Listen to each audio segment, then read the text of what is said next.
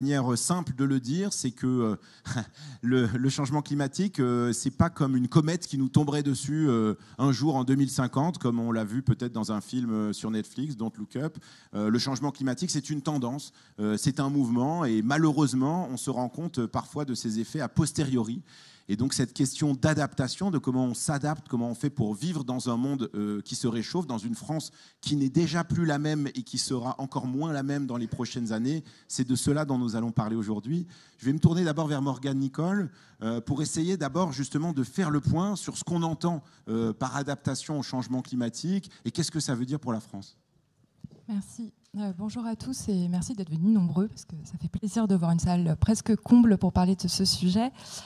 Euh, alors, vous avez euh, tous euh, bien en tête l'année qu'on vient de passer, cette année 2022 dont tout le monde parle, avec tous les, événements, les impacts climatiques qu'on a pu voir. je ne vais pas les passer en revue, mais par contre, je vais vous montrer ce graphe. Euh, qui montre que donc les, impacts, enfin le, réchauffement climatique euh, est amené à, augmenter et donc que ces impacts du, réchauffement climatique euh, vont également augmenter. Donc les conséquences du changement climatique, que ce soit vagues de chaleur, inondations, événements extrêmes, vont être amenés à être plus fréquents et plus, et plus intenses dans les années qui viennent. Alors il est important d'atténuer les effets du changement climatique, c'est-à-dire réduire les émissions de gaz à effet de serre, euh, puisqu'on le voit, selon le scénario sur lequel on, se place, on aura un réchauffement plus ou moins haut, avec, avec une, grosse différence euh, selon le scénario sur lequel on se place. Mais ce que l'on voit aussi, c'est le, et, ce qui presque nous intéresse plus maintenant, c'est le début de la courbe. Et ce qu'on voit, c'est que dans tous les cas, quel que soit le scénario de réchauffement climatique sur lequel on se place, quel que soit l'effort qu'on arrive à atteindre euh, pour, euh, euh, pour réduire les émissions de gaz à effet de serre, le, réchauffement climatique va augmenter dans les, les, 20 prochaines années au moins. Enfin, au moins. Dans tous les cas, ça augmentera sur les 20 prochaines années. Et donc, dans tous les cas, les impacts du changement climatique vont augmenter sur les 20 prochaines années avec des impacts qui seront plus intenses et plus fréquents. Donc ce constat peut paraître euh, anxiogène, euh, et pourtant, euh, il y a une bonne nouvelle. La bonne nouvelle, c'est l'adaptation au changement climatique. C'est-à-dire qu'on peut, malgré tout, réduire les impacts économiques et sociaux liés aux conséquences du réchauffement climatique. Et ça, ça s'appelle l'adaptation au changement climatique. Concrètement, ça demande quoi? Ça demande euh, deux choses. Euh, ça peut être euh, anticiper la gestion de crise, donc redimensionner les dispositifs de gestion de crise de manière à, pouvoir faire face de manière plus efficace aux impacts du changement climatique, à ses conséquences. Et ça peut vouloir dire également, et ça veut aussi dire également, prévenir ces impacts, diminuer la vulnérabilité des, territoires aux impacts du changement climatique pour limiter les risques économiques et sociaux qui sont liés à ces conséquences. Euh, et donc on aime bien, il y a une phrase qu'on aime bien. Euh, euh, il y a une phrase qu'on aime bien, c'est il faut donc à la fois éviter l'ingérable, c'est-à-dire réduire les émissions de gaz à effet de serre, et gérer l'inévitable. et donc ça, c'est l'adaptation au changement climatique. Il y a trois raisons euh, pour lesquelles, euh, au, moins trois raisons pour lesquelles c'est important de ne pas oublier l'adaptation au changement climatique en parallèle des efforts d'atténuation qu'on peut faire. La première, c'est que euh, c'est une question d'efficacité de la dépense publique.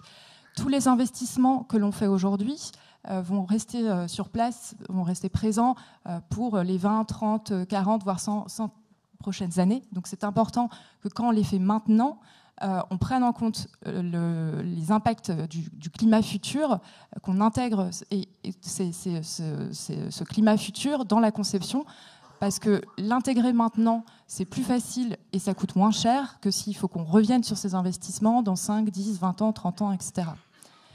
Une deuxième raison, c'est que on parle beaucoup de transition juste. Bah, l'adaptation, c'est complètement une question de transition juste. Euh, les, populations euh, qui seront le plus touchées par les impacts du changement climatique, ce sont les populations les plus vulnérables. Et donc s'occuper d'adaptation au changement climatique, c'est de faire de la transition juste.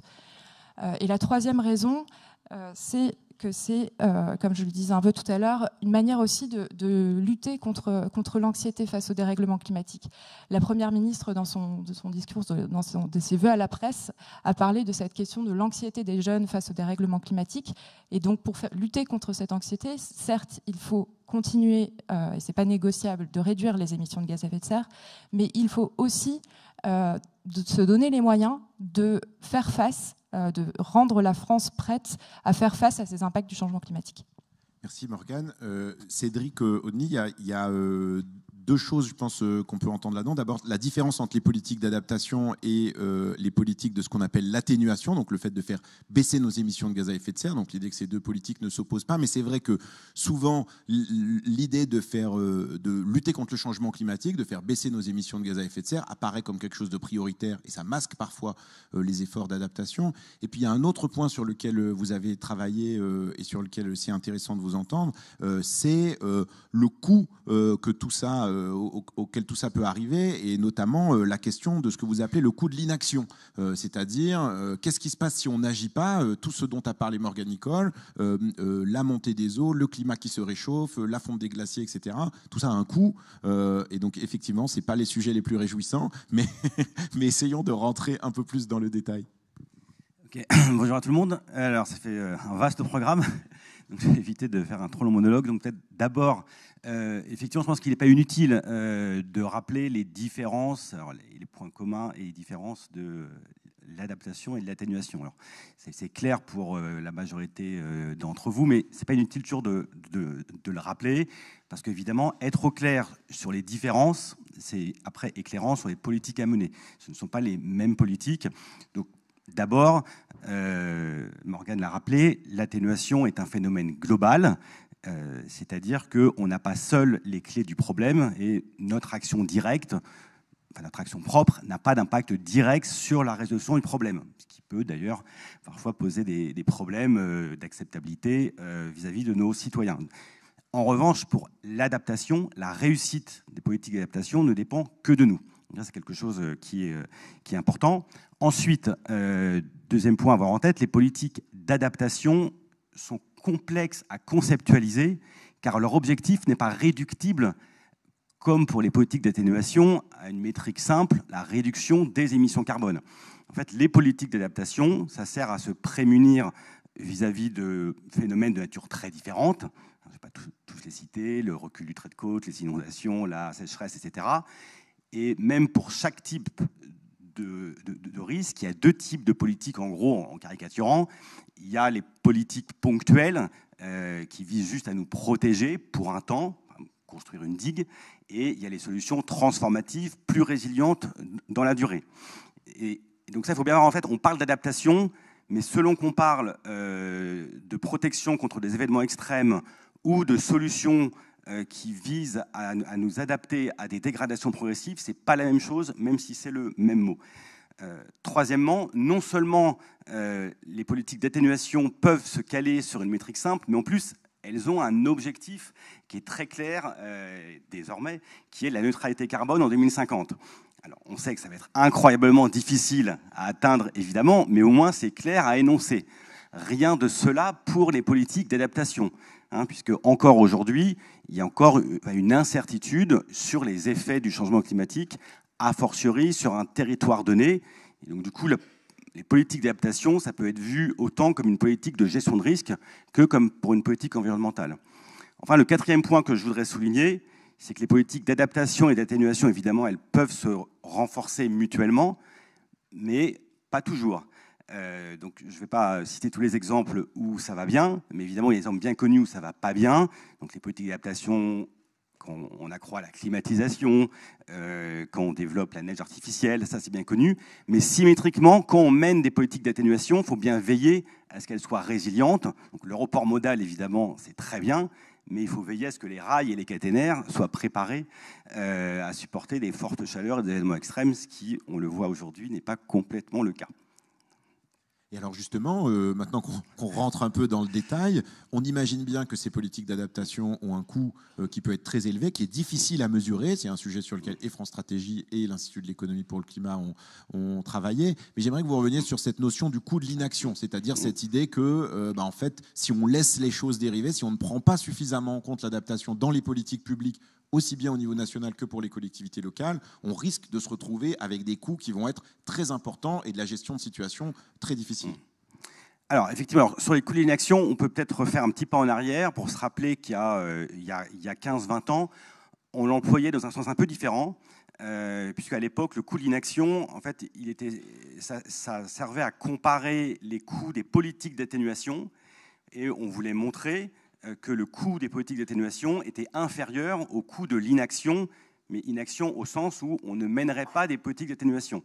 C'était notamment le rapport Stern, hein, c'était qu'en 2006, ça paraît très très loin, euh, mais le rapport Stern qui a fait date et qui concluait en ce sens. Aujourd'hui, on n'en est plus là, en tout cas en Europe, sur les politiques d'atténuation qui sont dans la loi. On a l'objectif de neutralité carbone, mais du coup, maintenant, quand on parle de coût d'inaction, ces coûts d'inaction sans politique d'adaptation. Et donc, selon différents scénarios, et notamment le, slide qu'a montré Morgan, montrait bien qu'on pouvait avoir différents scénarios d'atténuation et que pour chacun, il y avait un coût de l'inaction.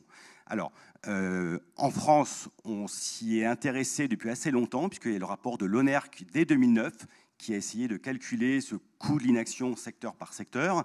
Et la loi, désormais d'ailleurs, euh, je ne sais pas dire contraint, mais que demande aux collectivités locales, et en particulier aux EPCI, dans leurs plans climat territoriaux, hein, les fameux PCAET, euh, de se livrer à cette estimation du coût de l'inaction, évidemment, pour guider les politiques d'adaptation.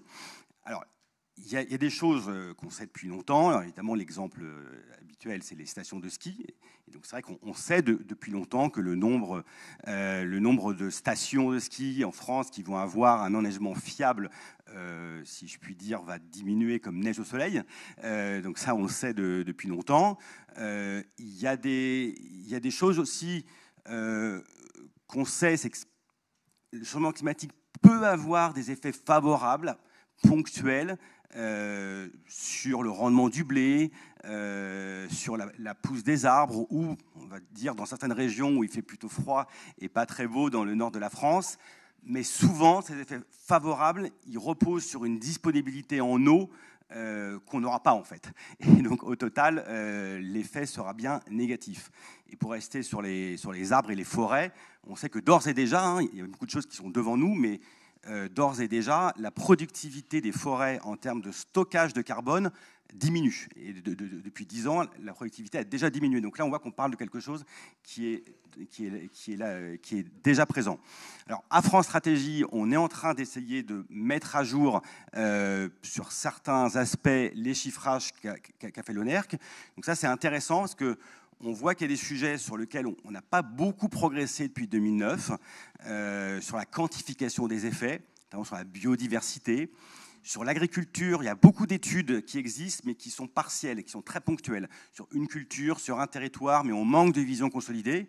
Euh, en revanche, il y a des sujets sur lesquels on a beaucoup progressé. Donc évidemment, en termes de projection climatique, elles sont beaucoup plus précises, notamment à une maille très, territoriale très fine. Euh, en termes de mortalité euh, liée à la chaleur, on dispose désormais de, premières simulations.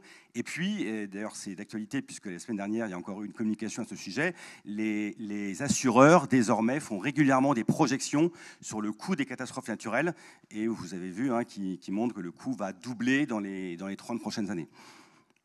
Donc on, a quand même là un tableau qui est assez préoccupant. Euh, encore une fois, euh, l'objectif n'est pas de vous faire démarrer la semaine euh, d'une manière très sombre, mais quand même quand on vous écoute, en tout cas quand moi je vous écoute, je me dis on n'est pas complètement sur la bonne trajectoire, mais en plus on n'a pas une vision globale très claire et très précise des enjeux auxquels on fait face. Et donc ça, on voit bien que ça fait partie des choses pour la puissance publique sur lesquelles il va falloir travailler.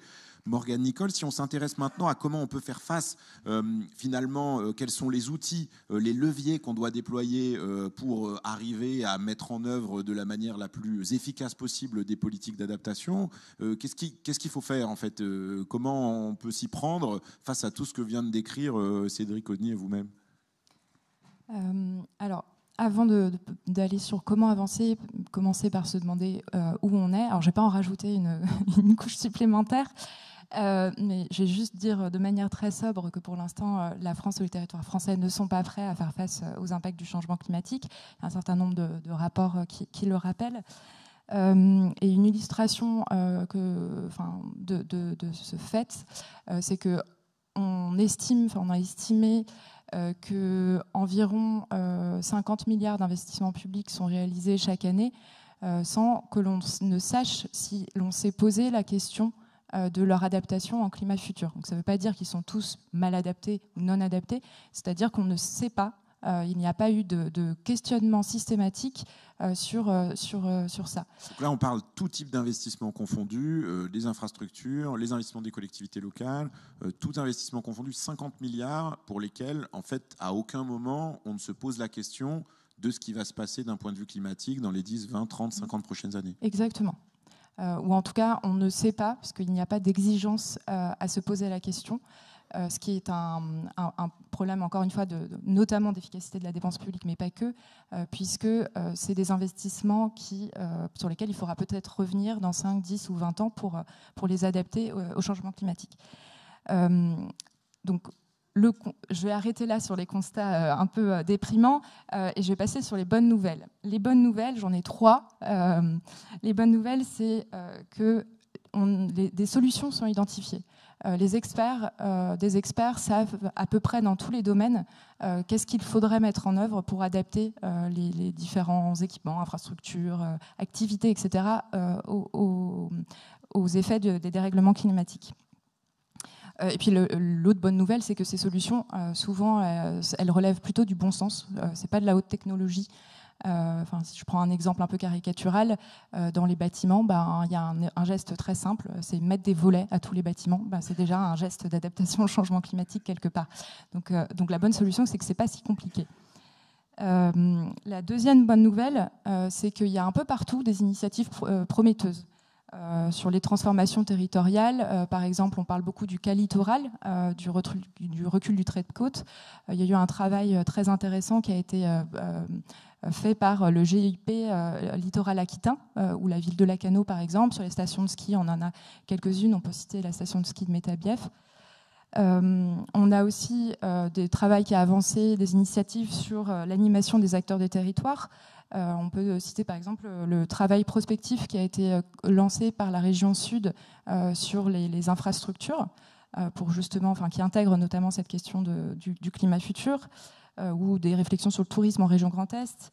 Euh, et puis, on a certains quartiers ou bâtiments euh, sur lesquels on s'est déjà posé la question. On peut par exemple citer le, cas du quartier de Pierre-Mille-les-Îles, qui est en partie, euh, donc, sur Nantes Métropole, qui est en partie sur zone inondable, et ça a été pris en compte dès le début, dès, dès la conception de la zone d'aménagement, de manière à permettre la construction sur ce quartier tout en, en ayant anticipé dans l'aménagement et la construction des bâtiments euh, le, fait de faire face à, ce risque d'inondation et aux vagues de chaleur. Et puis une troisième bonne nouvelle, et qui là est, presque plus récente, c'est qu'on voit émerger depuis quelques mois, et quelque part un peu grâce aux événements de l'année 2022 malheureusement, euh, on voit émerger un consensus sur le fait qu'il faut avancer sur l'adaptation au changement climatique. les choses bougent beaucoup plus vite aujourd'hui, et ça c'est une excellente nouvelle. Donc aujourd'hui, on n'en est plus à la question de est-ce qu'il faut euh, s'adapter au changement climatique, est-ce que c'est un sujet? Aujourd'hui, on en est vraiment arrivé à la question de euh, comment est-ce qu'on fait pour, euh, pour avancer? Comment est-ce qu'aujourd'hui on accélère l'adaptation de la France au changement climatique? Et, donc finalement, on en est aujourd'hui au point où l'impréparation est désormais un choix, comme le disait Christophe Cassou. Et donc pour avancer, la première chose à faire, et je pourrais peut-être y revenir euh, un peu après, euh, c'est de mettre en place un réflexe adaptation partout, chez, tous les acteurs, à tous les niveaux hiérarchiques, que ce soit dans le public et le privé, que systématiquement, on se pose la question quand on met en place une nouvelle politique, une nouvelle activité, un nouvel investissement, etc., que systématiquement, on se pose, OK, euh, on se pose la question, OK, euh, qu'est-ce que ça veut dire euh, Quelles vont être les conséquences du climat futur sur mon activité, sur mon investissement Et qu'est-ce que je fais pour modifier la conception de, cette politique ou de cet investissement pour faire en sorte qu'il soit adapté au changement climatique? C'est important cette euh, logique du réflexe adaptation, cette idée de se dire que quelque part c'est une grille de lecture euh, qui doit devenir euh, systématique quand on fait des choix d'investissement public ou privé. Cédric Odny, si on rentre encore un peu plus dans le détail, qu'est-ce que ça veut dire, y compris en termes de gouvernance pour l'État, pour les collectivités locales Comment on fait en fait pour intégrer cette dimension d'adaptation dans notre millefeuille territorial, pour reprendre une vieille expression qu'ici personne n'aime? Alors évidemment, c'est compliqué, euh, mais on est là pour ça, euh, pour essayer de, faire, avancer les, choses. Euh, en termes de gouvernance, pour avancer, moi, je, distingue quatre enjeux. alors le premier enjeu, c'est l'articulation du local et du national, évidemment, qui fait quoi, mais j'ai laissé Morgane aborder ce point-là ensuite. Moi, je vais me concentrer sur trois autres enjeux. D'abord, il y a une tension entre l'incertitude sur l'impact du changement climatique et la nécessité de mettre en œuvre rapidement des solutions transformatives.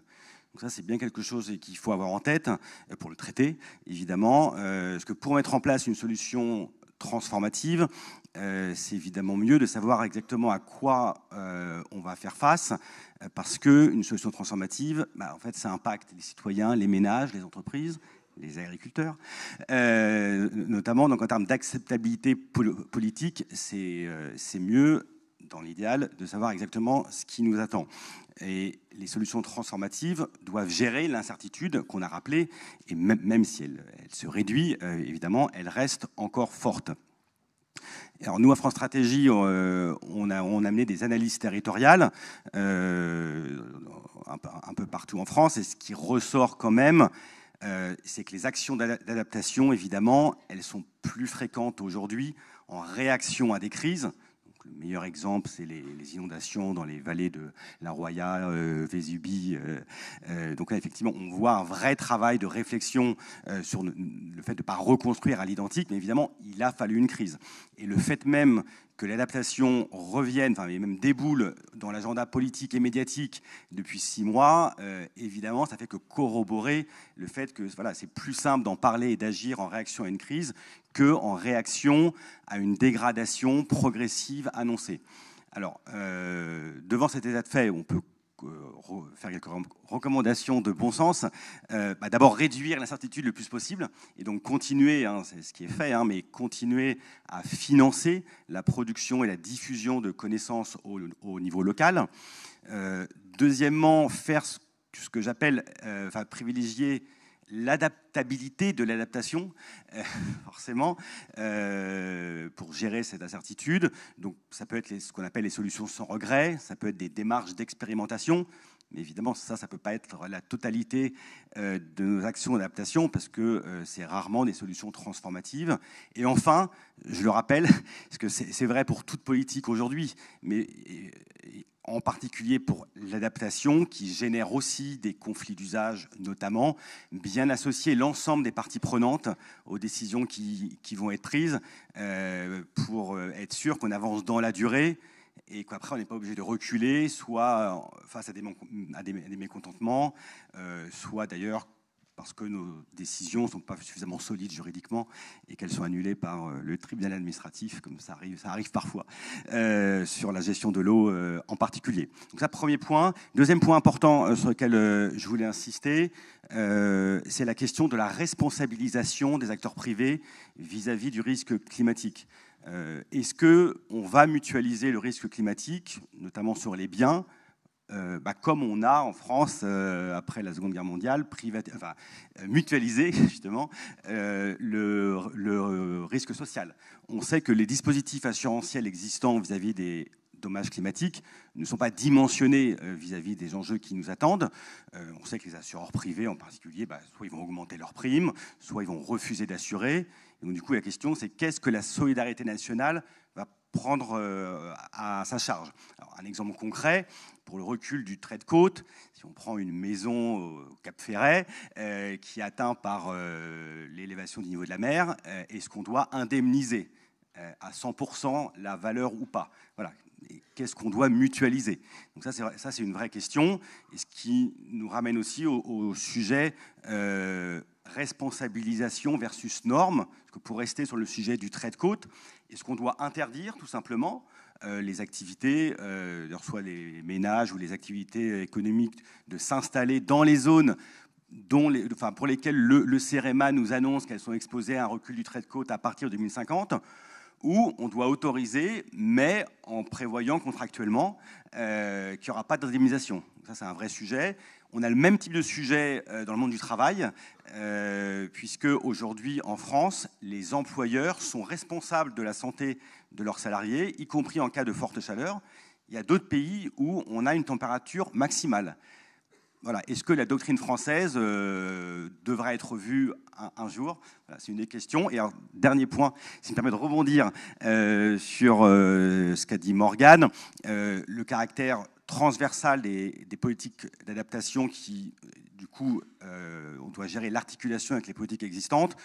Donc, je me permets de, rappeler effectivement la, nécessité, du coup, de ne pas cloisonner et quand on évalue un investissement public, un hôpital, une université, etc., avoir ce réflexe adaptation bien vérifié, euh, quand c'est des infrastructures qui vont durer plusieurs dizaines d'années, qu'il est résilient vis-à-vis des températures ou des événements extrêmes qu'on attend. c'est quelque chose qui n'est pas systématiquement fait aujourd'hui. Et je me permets de faire un peu de publicité sur un travail de France Stratégie qu'on a fait l'été dernier, où euh, on a regardé spécifiquement euh, les réseaux, euh, donc les réseaux SNCF, télécom, électricité, pour voir dans quelle mesure ils s'étaient préparés au changement climatique. Et là encore, on voit que un par un, ils s'y préparent, mais que les interdépendances, justement, ne sont pas encore complètement intégrées. Oui, c'est important ces recommandations que vous faites parce que dedans, on voit bien qu'il y a évidemment des dimensions économiques, mais qu'il y a aussi dedans une dimension sociale qui est très forte, une dimension démocratique qui est très importante parce qu'en fait, effectivement, ces décisions-là d'adaptation, ces investissements qui sont liés à l'adaptation ont des impacts sur la vie de beaucoup de gens, sur les stratégies de beaucoup d'entreprises et donc, euh, à un moment donné, doivent être concertés avec les parties prenantes, ce qui à la fois essentiel et en même temps ne fait pas toujours gagner du temps. Peut-être, Morgane Nicole, pour terminer rapidement, euh, euh, vous aussi, peut-être avec quelques recommandations ou un regard peut-être sur euh, comment on peut euh, permettre d'avancer euh, d'une marche encore de l'escalier sur cette question de l'adaptation? Oui, alors pour, avancer, déjà la première chose à avoir en, tête, c'est que les actions qui doivent être menées sont à la fois à, un niveau, à un niveau local, à un niveau territorial, au niveau des collectivités locales notamment, mais aussi à un niveau national. Euh, parce que comme le disait euh, Cédric tout à l'heure, en fait, il y a un, certain nombre euh, de choix politiques qui doivent être pris. Et, donc ces choix politiques, il y en a certains qui seront à un niveau, territorial, mais il y en a aussi un certain nombre de, choix qui doivent être faits au niveau national.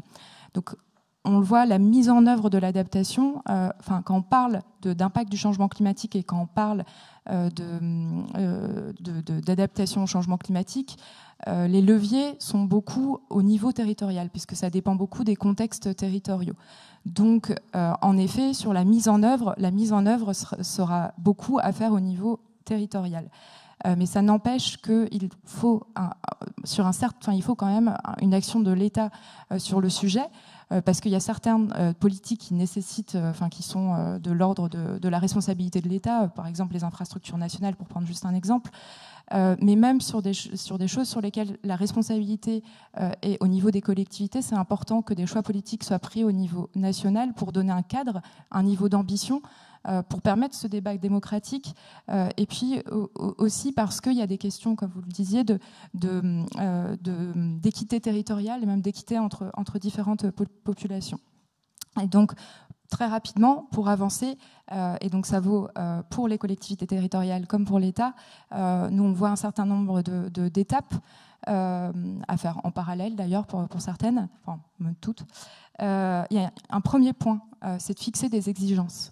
pour mettre en place ce réflexe adaptation, il faut que ces exigences soient écrites par exemple, euh, dans les mandats des différentes euh, organisations. C'est important qu'on demande aux différentes organisations et institutions pour leur permettre de s'y mettre, euh, de fixer ces exigences. Une bonne nouvelle, par exemple, ça a été les annonces qui ont été faites, je crois que c'était à l'automne, de, la présidente de l'ANRU, disant que progressivement, tous les projets de l'ANRU allaient devoir passer au crible de, ces questions de, climat futur et d'adaptation au changement climatique. Le deuxième point, c'est travailler sur la gouvernance, sur les processus. Parce que comme on le disait, finalement, l'adaptation, c'est beaucoup une question de, bon sens, c'est beaucoup une question de changer la conception de projets, de politiques, d'investissements, etc. et, donc, le, gros sujet, c'est de se poser la bonne question au bon moment de la conception des politiques et des projets. Euh, et pour se poser cette bonne question au bon moment, il faut qu'il y ait des, processus qui soient en place euh, et qui soient propres à chaque institution gouvernante. C'est finalement une question de conduite du changement, euh, beaucoup. Euh, la troisième chose est très très important, c'est que pour permettre cette conduite du changement, il faut des moyens humains, il faut des personnes expertes et il faut aussi que, chaque personne ait le temps de se poser ces questions-là. Donc il y a une question, il y a beaucoup une question de moyens humains et d'ingénierie pour réussir l'adaptation. Et dernière chose, il faudra bien entendu dégager des enveloppes financières pour, pour financer un certain nombre de choses. Euh, on n'est pas en train de parler euh, d'enveloppes financières énormes, euh, on est en train de parler surtout d'enveloppes financières pour payer ses moyens humains et d'enveloppes financières pour prendre en charge les surcoûts, qui ne sont pas forcément très énormes, mais il y a quand même des surcoûts pour prendre en compte l'adaptation dans les investissements, dans les projets, dans les politiques. Merci Morgane Nicole et Cédric Audeny. Je retiens de, de vos recommandations qu'il faut effectivement intégrer le plus en plus ce réflexe adaptation, l'intégrer dans les politiques publiques, l'intégrer dans les investissements publics et privés et essayer de faire en sorte que ça corresponde à des trajectoires, à des moyens et le faire en intégrant le plus possible euh, les différentes parties prenantes et euh, avec euh, les territoires. Merci à tous les deux pour votre participation à ce colloque. On va passer à la deuxième partie de la discussion en accueillant donc Christophe Béchu, ministre de la Transition écologique et de la cohésion des territoires. Euh, euh, Marie-Guide Dufay, présidente de la région Bourgogne-Franche-Comté. Boris Ravignon, maire de Charleville-Mézières et depuis quelques semaines PDG de l'ADEME, l'agence de la transition, ainsi que le sénateur de Loire-Atlantique Ronan Dantec et le maire de Mandelieu-la-Napoule Sébastien Leroy. Merci de venir me rejoindre.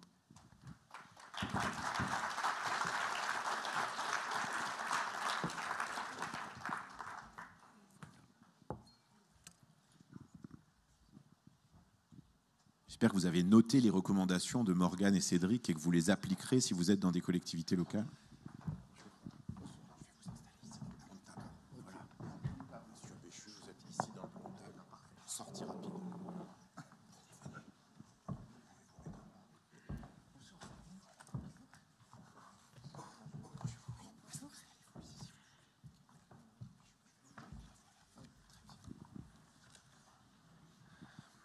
Merci à tous les cinq d'avoir accepté de se prêter au jeu de cette discussion ouverte sur euh, euh, les ambitions euh, collectives que nous pouvons avoir, aussi bien d'un point de vue de la puissance publique, des collectivités locales, sur comment on s'adapte au changement climatique, comment on vit dans une France qui se réchauffe et qui n'est plus la même que celle que nous avons connue, celle dans laquelle nous avons grandi. Je vais commencer en me tournant vers Christophe Béchu. On a vu dans les présentations de Morgane Nicole et Cédric Audeny qu'il y a un consensus sur sur euh, l'urgence de devoir s'adapter au changement climatique, mais euh, qu'il y a aussi euh, une trajectoire qui aujourd'hui n'y est pas. C'est-à-dire qu'aujourd'hui, on sait que face aux défis que nous avons, bah, on n'est pas sur la bonne route. et donc simplement de voir dans votre vision des choses, qu'est-ce qui vous semble être prioritaire pour mettre la France sur la bonne trajectoire pour s'adapter aux défis du changement climatique? Bonjour à tous. Euh, le sujet, c'est qu'il faut être capable d'agir sur plusieurs leviers en même temps et ne pas avoir une tendance qui consiste à prioriser avec des choses qu'on fasse les unes après les autres, parce que c'est le meilleur moyen de passer à côté. On parle d'adaptation, mais on ne peut pas totalement séparer l'adaptation et l'atténuation, parce que une vision trop optimiste de ce qu'on obtiendrait en baisse des émissions de gaz à effet de serre nous conduirait à ne pas être suffisamment euh, déterminé en ce qui concerne le plan euh, d'adaptation au changement climatique. Dit autrement, c'est assez récent d'avoir des plans d'adaptation au changement climatique. Le premier, c'est 2011, le deuxième, c'est 2018, et on entre au moment où il faut faire le troisième. On a fait deux choses. D'abord, on a demandé à l'IGEDD, pardon, à l'inspection générale euh, de l'environnement et du développement durable de conduire une mission de parangonnage dans huit autres pays à l'échelle de la planète, du Japon à l'Allemagne, en passant par l'Autriche et les États-Unis, pour dire comment font les autres Et quelles préconisations au moment où nous, il va falloir qu'on s'occupe de ce plan, vous nous conseillez de mettre en œuvre Les résultats viennent de tomber. Euh, et je souhaite d'ailleurs qu'on rende public euh, cette mission parce qu'elle sera intéressante, y compris pour montrer ce qu'on fait bien, ce qu'on fait moins bien, et euh, la manière dont les choses bougent. Deuxièmement, on a devant nous une loi programmation énergie-climat qui devra fixer justement un certain nombre de choses et à l'intérieur de laquelle nous devrons dire ce qu'est la trajectoire. Mon souhait, il est extrêmement clair, je ne crois pas l'avoir exprimé avant ce matin, c'est que nous n'ayons pas seulement un scénario qui consiste à penser qu'on va tenir les accords de Paris. On ne peut pas s'écarter de ça parce qu'il faut évidemment qu'on continue d'expliquer que l'ambition, c'est bien d'aller vers ça. Donc on ne peut pas capituler en disant, euh, mais quand on voit les projections qui existent, euh, les projections récentes du GIEC, quand euh, on lit les études, on s'aperçoit que penser qu'on va rester sur une trajectoire à plus de degrés alors que des hypothèses où on est à plus 4 existent, nécessite qu'on modélise cette trajectoire et qu'on ait donc deux scénarios dans notre stratégie d'adaptation. Un scénario optimiste et un scénario pessimiste, peu importe la manière euh, dont on les appellera, mais qui tournent globalement autour de 2 et de 4 degrés. C'est indispensable pour permettre la prise de conscience et c'est indispensable aussi pour qu'il n'y ait pas de mal d'adaptation et donc que dans toutes les décisions que nous prenons, dès maintenant, on intègre ces éléments dans nos modèles. Voilà, je, peux éventuellement aller plus loin, mais principe d'une table ronde, c'est aussi que tout le monde puisse parler. Donc je, m'arrête là pour. C'est important ce point de se dire que effectivement dans nos modèles, il faut prendre en compte la possibilité que les politiques d'atténuation euh, n'arrivent pas euh, à faire baisser euh, les émissions de gaz à effet de serre d'une manière qui est suffisamment significative. Ronan Dantec, vous, vous êtes sénateur de Loire-Atlantique, vous vous intéressez à cette question de l'adaptation depuis longtemps. Vous êtes même un des premiers parlementaires à vous être penché sur le, sujet. Oui, oui, oui, oui, absolument. est-ce que, est que vous partagez d'abord le le constat qui est fait par euh, Christophe Béchu, est-ce qu'il vous semble que c'est une bonne manière euh, d'engager euh, la discussion sur l'adaptation pour se mettre sur la bonne trajectoire? Globalement, oui. Globalement, oui. je pense que effectivement, le fait d'avoir une salle fournie ce matin, on voit bien qu'on est en train de, sortir du tabou. L'adaptation, c'est un peu un tabou, pour des tas de raisons. Une des premières, si vous retrouvez certaines de mes déclarations très anciennes, j'ai dû participer à ça, c'est que euh, on se disait, si on va trop vite sur l'adaptation, ça va réduire finalement l'effort sur l'atténuation en passant ce message un peu subliminal que tu mets, on, on arriverait à s'adapter.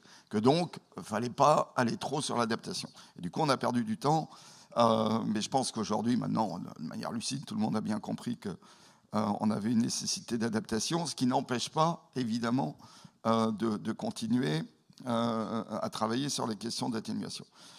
Je vais, aller un peu plus loin que, Christophe Béchu et je vais, je vais, y aller avec ma casquette de, président euh, du, comité d'orientation euh, de la commission spécialisée euh, qui est en charge de, de, vérifier que le programme national d'adaptation au changement climatique tient ses objectifs. C'est un peu long comme ça, donc, mais en tout cas, il y a une commission spécialisée du CNTE et qui a travaillé il y a quelques jours sur un, sur un avis qui va maintenant être soumis au CNTE comme c'est une commission représentative où il y a les syndicats, le MEDEF, euh, les collectivités, les ONG, je, serais surpris que le CNTE euh, ne, suive pas l'avis de la commission spécialisée, mais formellement, ce n'est pas encore le cas. Et on a été très, très clair euh, dans, dans cet avis pour dire qu'aujourd'hui, c'est un peu ce qui manque, qui manquait même dans la table ronde d'ouverture. C'est-à-dire que si on veut que tout le monde s'adapte sur les mêmes bases, il faut un scénario principal par rapport à ce qu'a dit euh, Monsieur le ministre, il ne faut même pas deux scénarios. Il faut un scénario principal sur lequel euh, les collectivités, les investisseurs publics, euh, tout le monde s'étalonne. Ce scénario principal aujourd'hui, c'est au-dessus de l'accord de Paris. Là, je rejoins tout à fait Christophe. Les, Glasgow nous met, si les États tiennent leurs engagements, sur un 2,5, 2,6 au niveau mondial. Ça, c'est plus 4 au niveau français on peut considérer aujourd'hui que le plus 4 au niveau français, on n'y coupera pas. Ça refroidira peut-être après, on l'espère, mais il ne serait pas raisonnable aujourd'hui de prévoir des investissements à 20, 30, 50, 100 ans qui n'ont pas intégré le plus 4 par rapport à la période pré-industrielle. Donc ce qu'on attend déjà de l'État, et la loi de programmation sera un moment clé de ce débat, c'est de dire fini de rigoler, plus 4.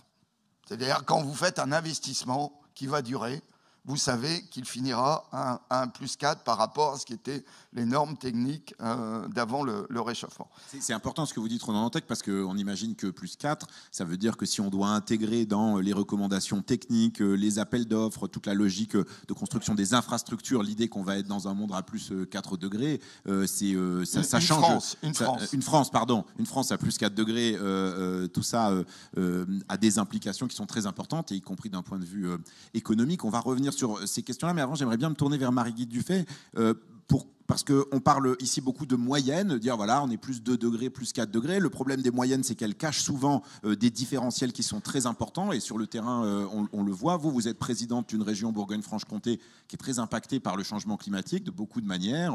C'est une région de forêt, euh, c'est une région de ruralité avec beaucoup d'agriculteurs. Moi qui suis un grand consommateur de comté, j'en sais quelque chose. Et donc, on, a, moi j'aimerais bien savoir comment vous, vous envisagez cette question de l'adaptation à l'échelle de la région euh, et là aussi, pour vous, quelles sont les priorités euh, en termes de politiques à mener? Merci. Euh, oui, vous avez raison, la Bourgogne-Franche-Comté, contrairement à ce qu'on pourrait penser, parce qu'on pense immédiatement plutôt aux régions de littoral et aux régions du sud, comme les régions les, plus affectées par les questions d'évolution de, climatique. Et notre région, elle est très, très affectée. Depuis quatre ans, on a des, des sécheresses très importantes qui ont posé de graves difficultés en matière d'abreuvement du bétail, en matière de fourrage, en matière de culture aussi. Et euh, bon, voilà, on est très impacté, en fait, comme tout le monde, mais euh, on l'est beaucoup. Euh, moi, je suis présidente de région, d'abord de la Franche-Comté, ensuite de la Bourgogne-Franche-Comté, ça fait 15 ans. Ça commence par faire un bail. Je n'ai pas changé. Pour moi, il y avait une seule priorité pour laquelle j'avais envie de me battre publiquement et d'assumer la responsabilité à la tête de la collectivité, c'était celle-là, il y a déjà 15 ans. Donc nous avons euh, travaillé à des scénarios hein, de régions à énergie euh, positive pour 2050.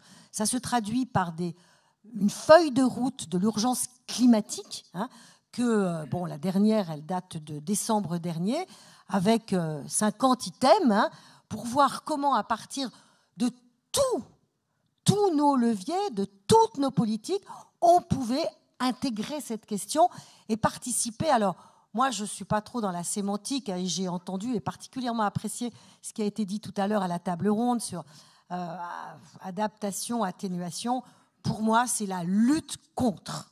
Il faut absolument lutter contre le réchauffement climatique. Donc ça veut dire qu'effectivement, il faut trouver des moyens d'adaptation, mais il faut trouver aussi des, moyens, pour moi, adaptation, c'est un peu passif, hein, des moyens de réduire notre participation humaine à la production de gaz à effet de serre qui produisent ce réchauffement climatique. Et euh, priorité, moi je vais répondre comme le ministre, hein, euh, tout est prioritaire, donc c'est difficile de, faire des priorités dans une région.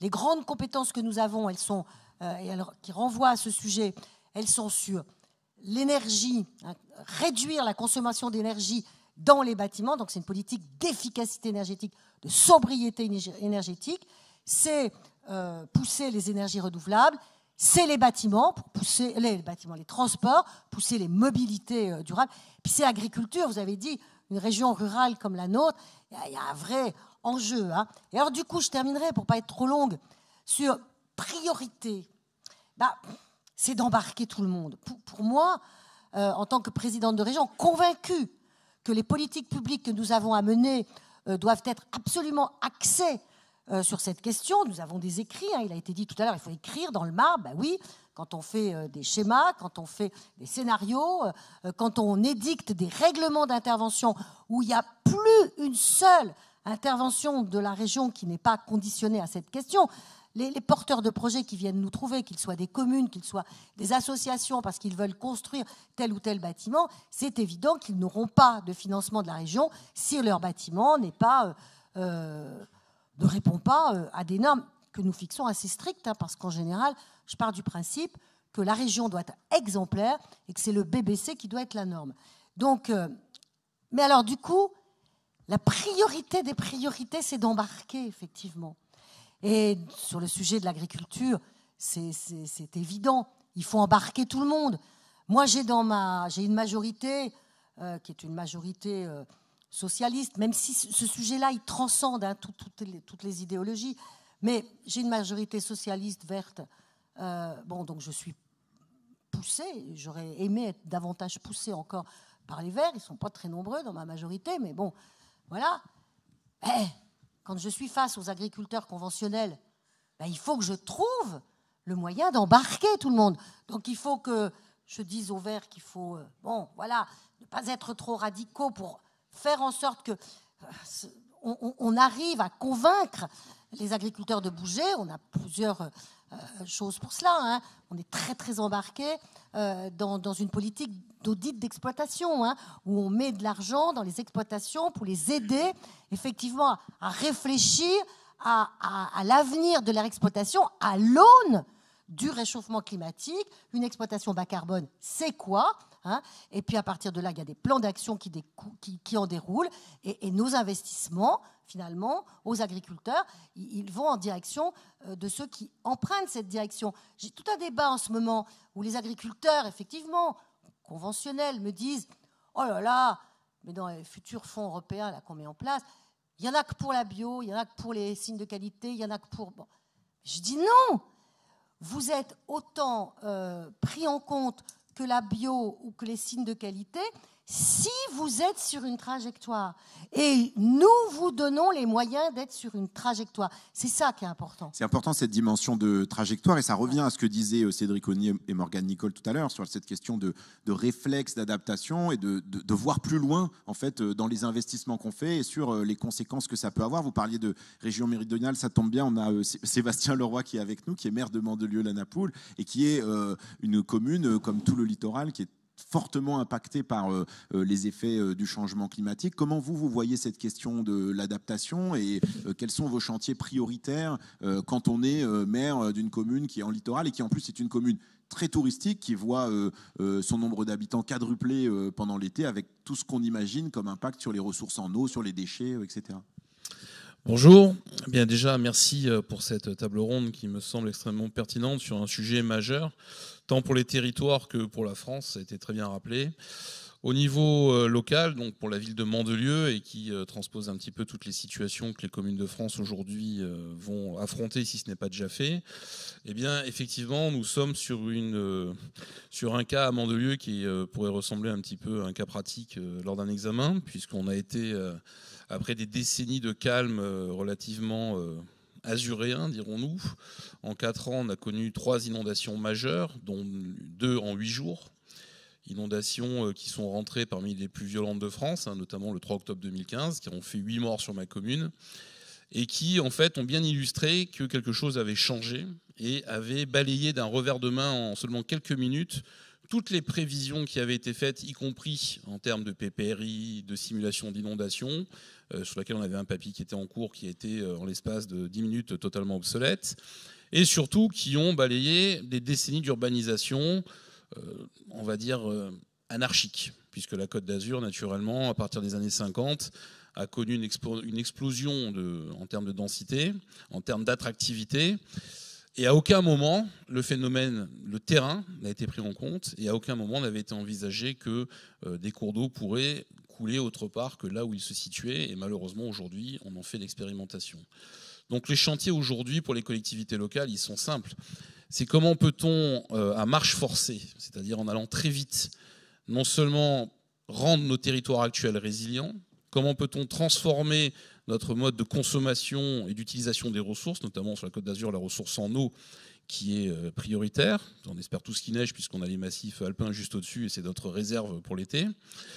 Et comment peut-on, tout aussi rapidement et sans attendre, transformer une urbanisation et reconstruire des villes sur la ville en intégrant les nouveaux concepts que sont moins d'emprise, plus de zones naturelles, moins de zones de rétention de chaleur, plus d'économie d'énergie et aussi de ressources en eau, et bien sûr que le citoyen puisse y sentir bien, puisque naturellement, euh, c'est le premier principe d'une ville.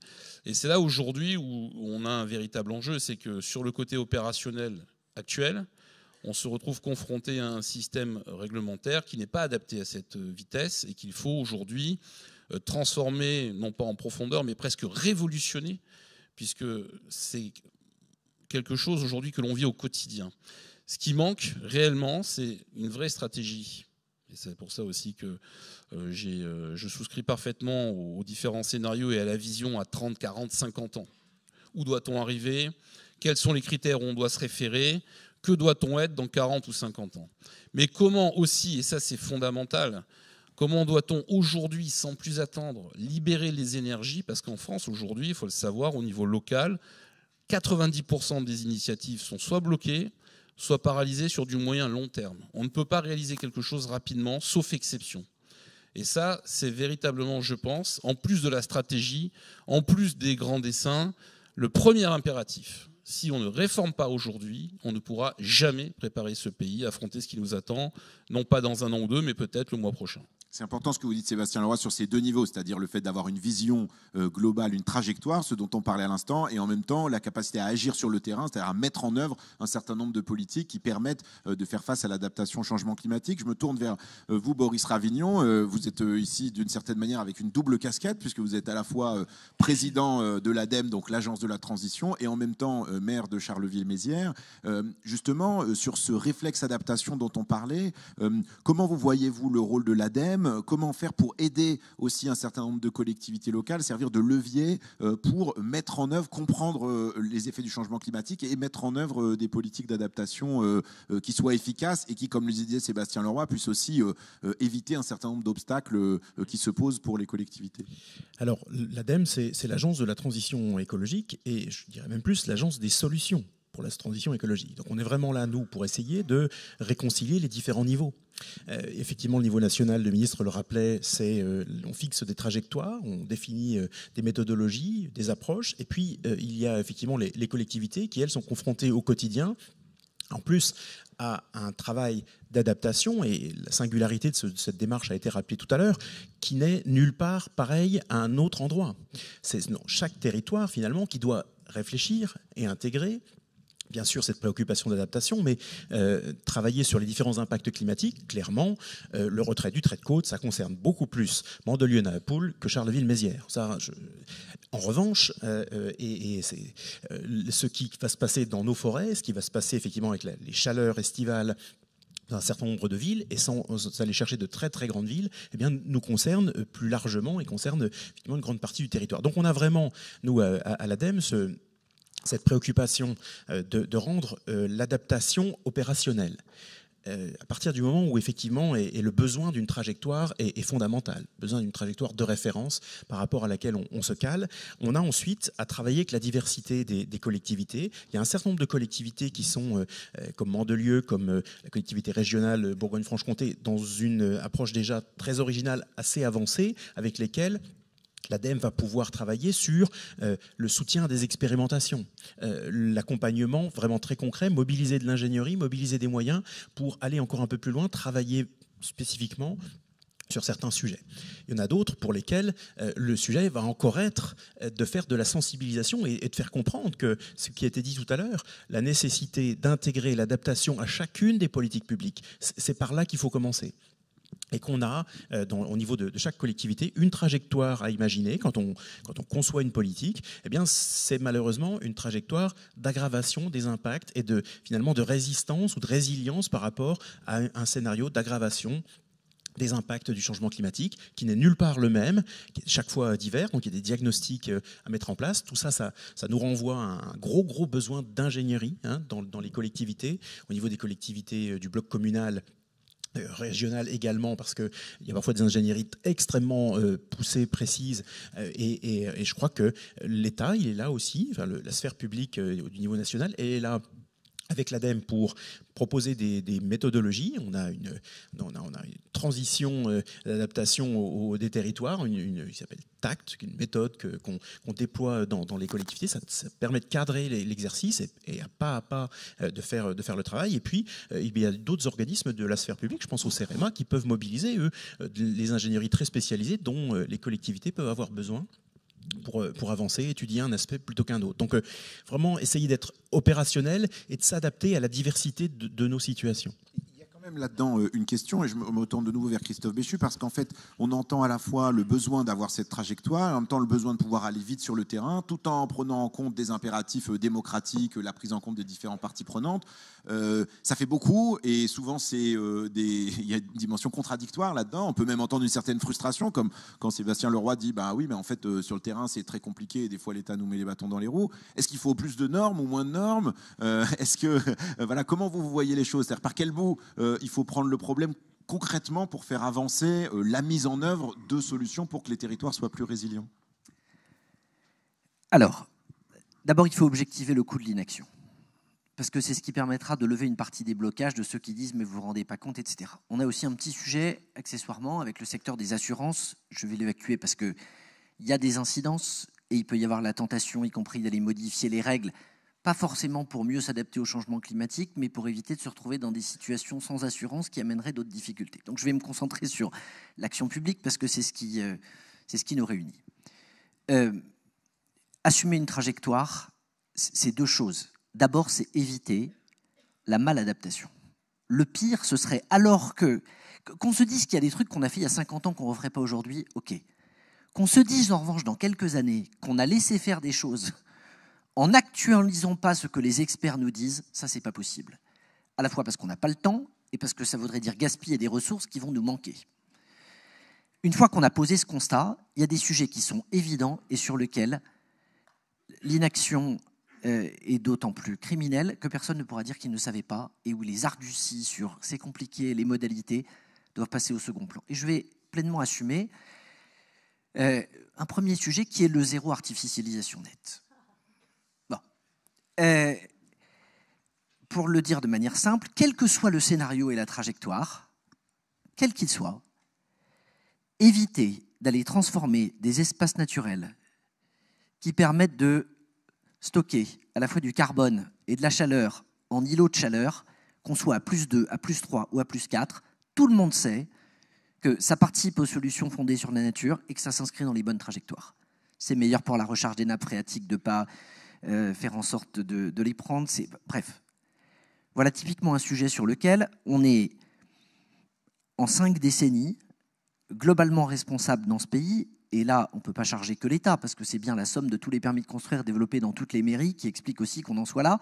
On a en cinq décennies plus artificialisé qu'en cinq siècles. On pose un principe simple qui consiste à dire on va diviser. Et on se retrouve avec ah oui, mais faut pas aller trop vite, pas n'importe comment, alors que quand vous objectivez les choses, il ne s'agit pas de faire zéro tout de suite. Il s'agit de dire qu'on va se contenter de 12 500 hectares par an d'artificialisation contre une moyenne de 25 000 et avec 200 000 hectares de friches disponibles. Notre intelligence collective et les moyens qu'on est capable de déclencher doivent nous permettre de faire face à ça. Ne pas le faire, ce sera dans quelques années avoir à répondre sur pourquoi est-ce qu'on ne l'a pas fait. Et en ce moment, vous avez une bataille euh, au Sénat, euh, il y aura une PPL qui sera déposée à l'Assemblée sur un sujet qui devrait faire consensus et sur lequel, sincèrement, la question financière, elle est bien moins importante que le partage de la contrainte et que le fait d'être capable de l'objectiver. Avec des moyens d'ingénierie, parce que construire sur moins d'espace quand on a besoin de loger, c'est se poser la question de comment on fait. Mais avec aussi une manière en dézoomant de se dire que dès lors qu'on ne gagne pas de population, qu'on n'a pas vocation à continuer à développer des zones commerciales de périphérie qui ne correspondent pas à un modèle qui n'est pas compatible avec les ressources de cette planète pour plein de raisons, là, euh, la dimension de contrainte, elle peut l'emporter sur la dimension d'incitation.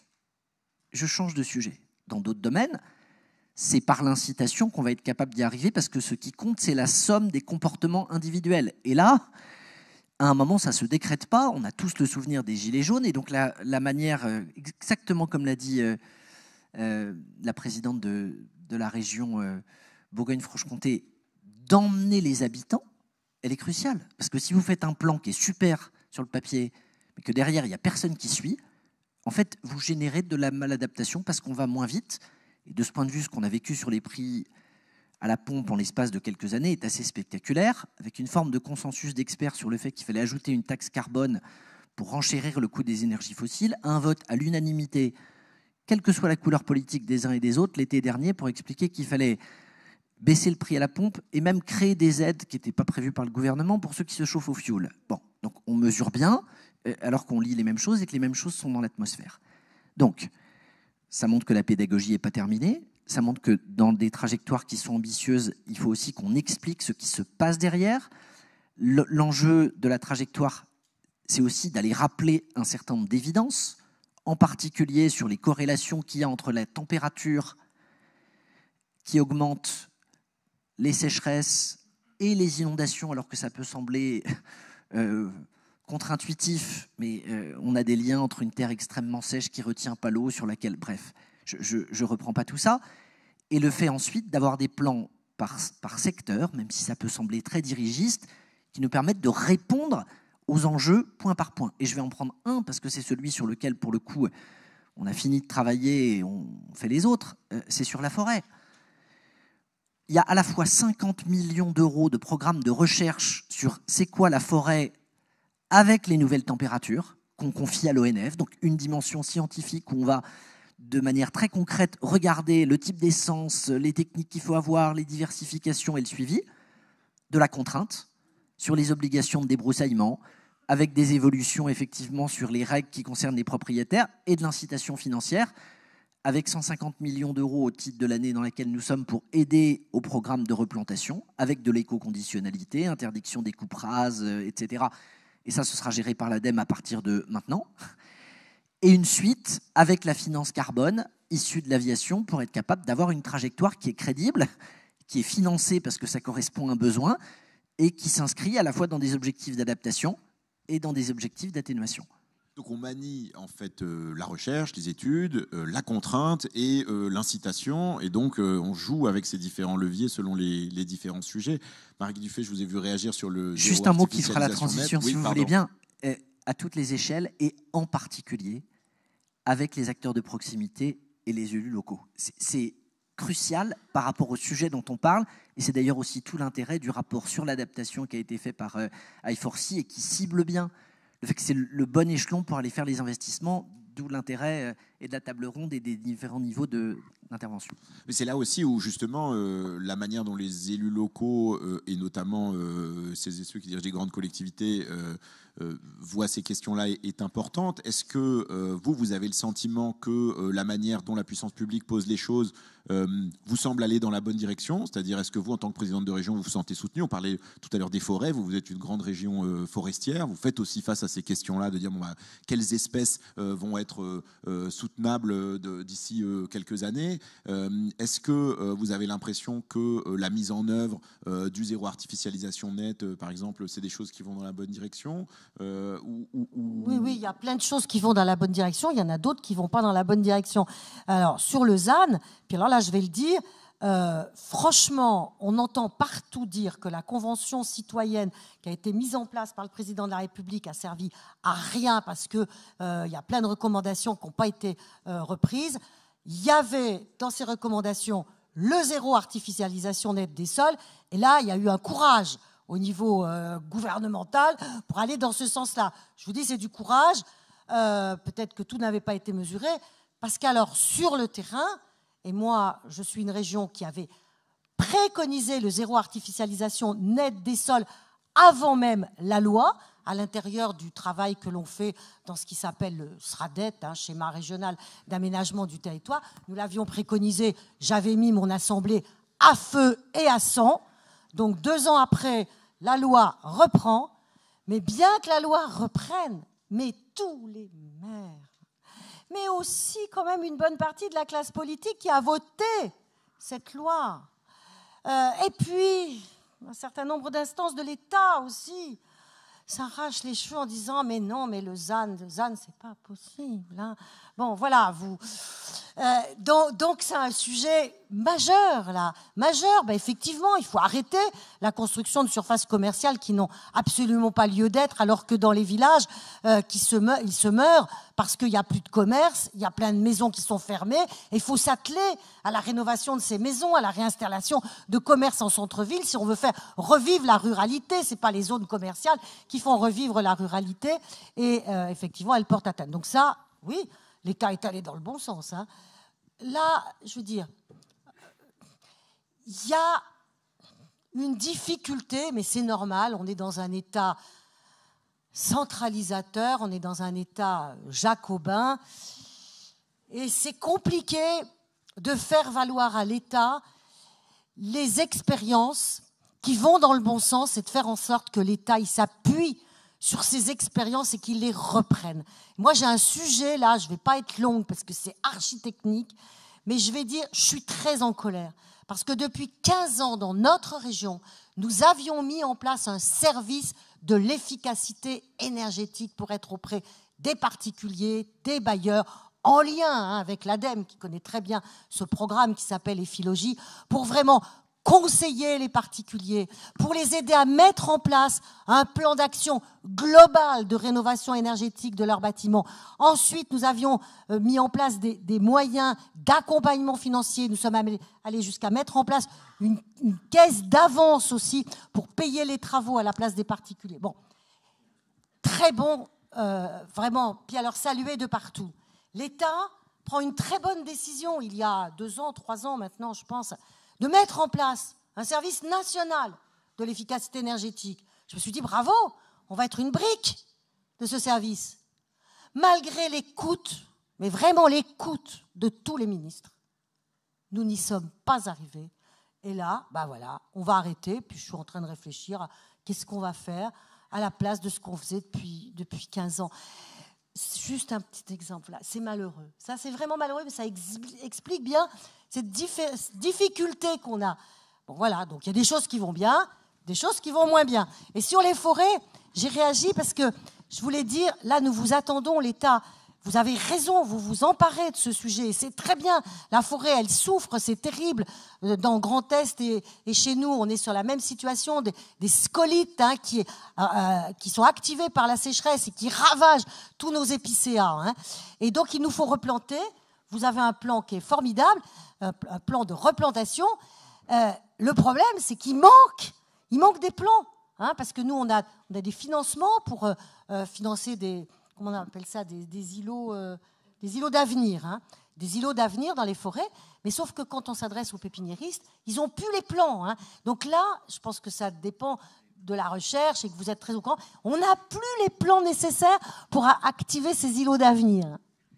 Alors, bien entendu, ça, fait partie dans les étapes qui arrivent. Je voulais juste dire à la présidente que mi-février, je reçois toutes les associations d'élus, précisément pour parler décentralisation du logement, mais aussi mise en place potentielle sur la rénovation énergétique, de délégations qui pourraient se faire à des échelles intercommunales, parce qu'on a le sentiment que c'est sans doute la bonne proximité pour être capable d'apporter les choses, mais de discuter aussi avec les régions. Vous avez peut-être juste été un peu trop en avance par rapport à un certain nombre de, de politiques. Et je crois qu'il y avait. Mais, mais nous y sommes, et tout l'enjeu en particulier derrière les débats sur ma prime rénov, sur la massification et sur le fait d'en améliorer l'efficacité, c'est de mesurer que la limite d'un dispositif national avec une plateforme, c'est que le contact de proximité avec l'accompagnateur, il peut être de nature à faire le saut qualitatif dont on a besoin euh, en termes d'efficacité climatique. Renaud Dantec Moi, je, je pense qu'on n'est pas si loin d'y arriver.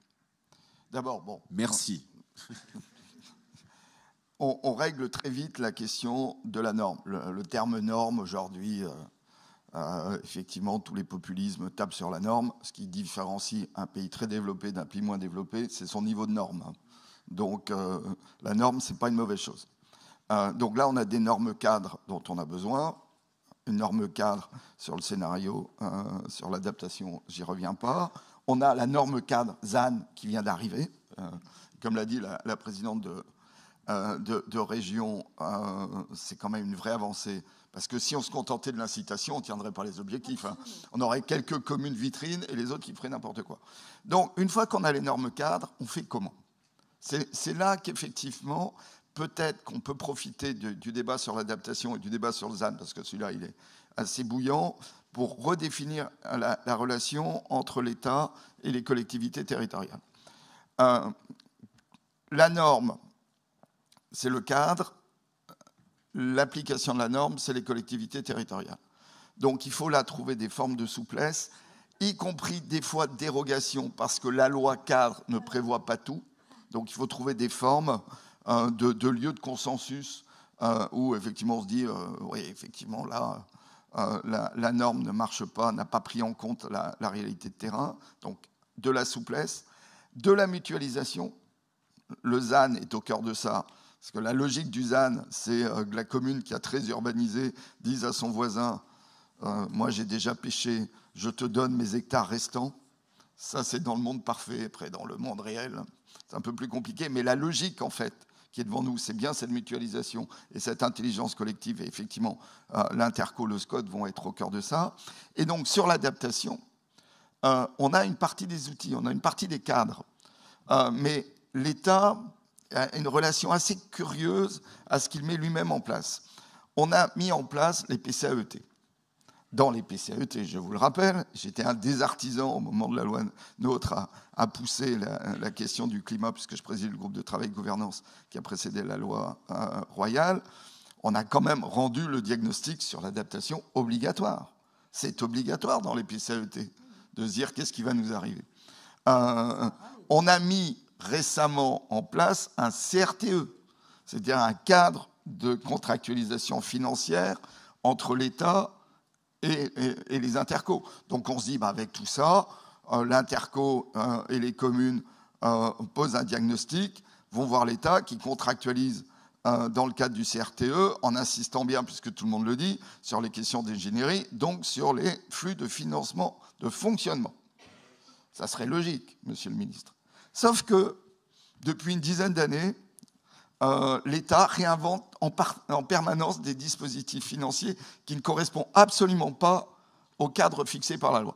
Alors, si je fais la liste, hein, on va y passer la matinée, mais euh, depuis les TFCV, les CTE, le dernier fonds vert, qui n'est pas totalement raccord encore au CRTE, qui ressemble encore furieusement à un saupoudrage de l'État euh, sous la direction du préfet, sans tenir compte du fait qu'on soit sur un territoire totalement euh, cohérent. On n'y est toujours pas. Moi, je pense que dans les étapes qui viennent, bon, d'abord, il y a effectivement l'État donne les informations hein, nécessaires au territoire.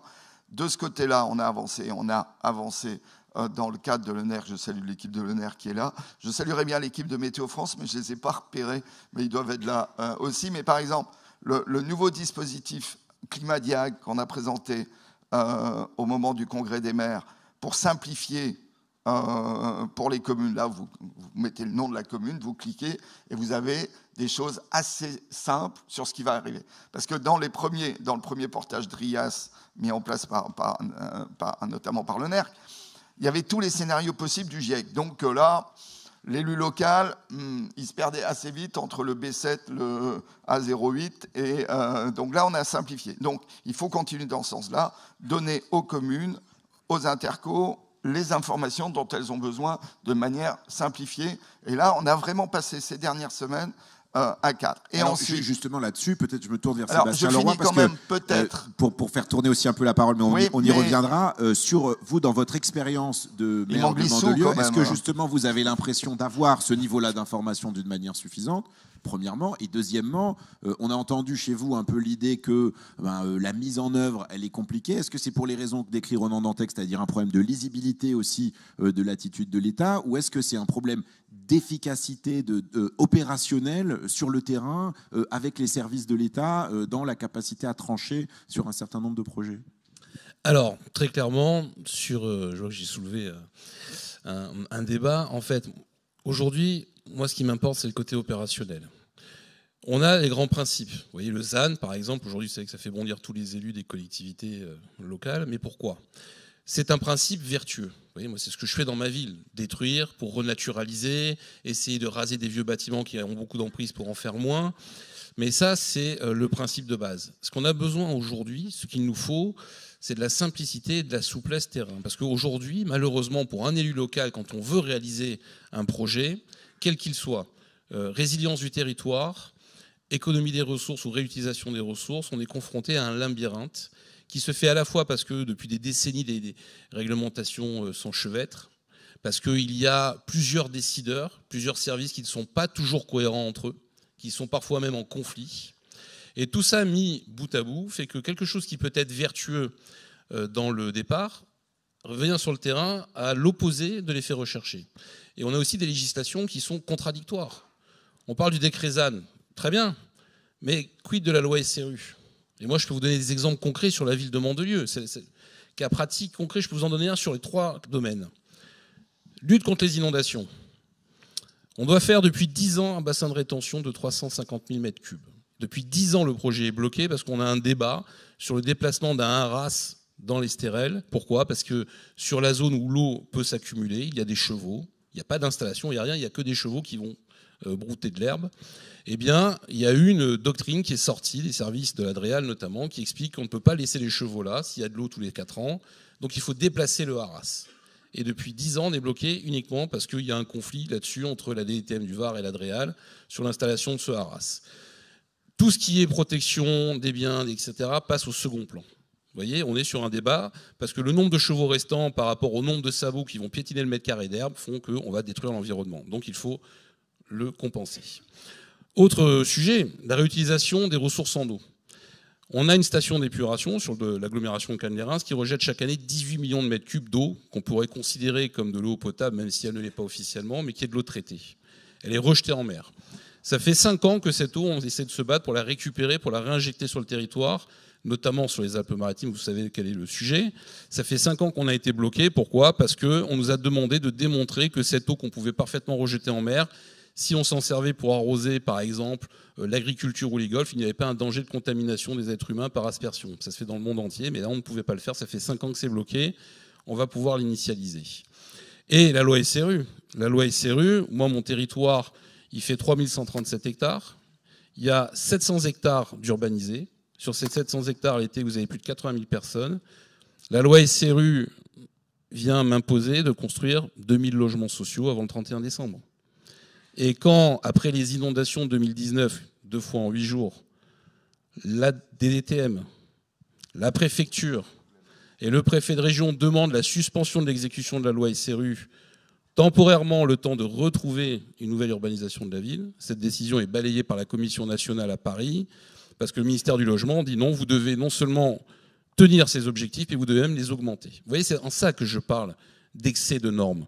C'est pas de supprimer, de laisser faire n'importe quoi, parce que quand on a un territoire qui est dévasté ou qui doit faire face aux risques majeurs, la première chose à faire, c'est de ne pas réagir tout de suite et de faire des plans à long terme. Qu'est-ce qu'on doit faire pour que l'aménagement du territoire, effectivement, il ne s'agit pas de refaire des digues en, catastrophe ou de reconstruire ce qui a été détruit. Il faut transformer le territoire. Et transformer le territoire, ça demande un temps d'étude.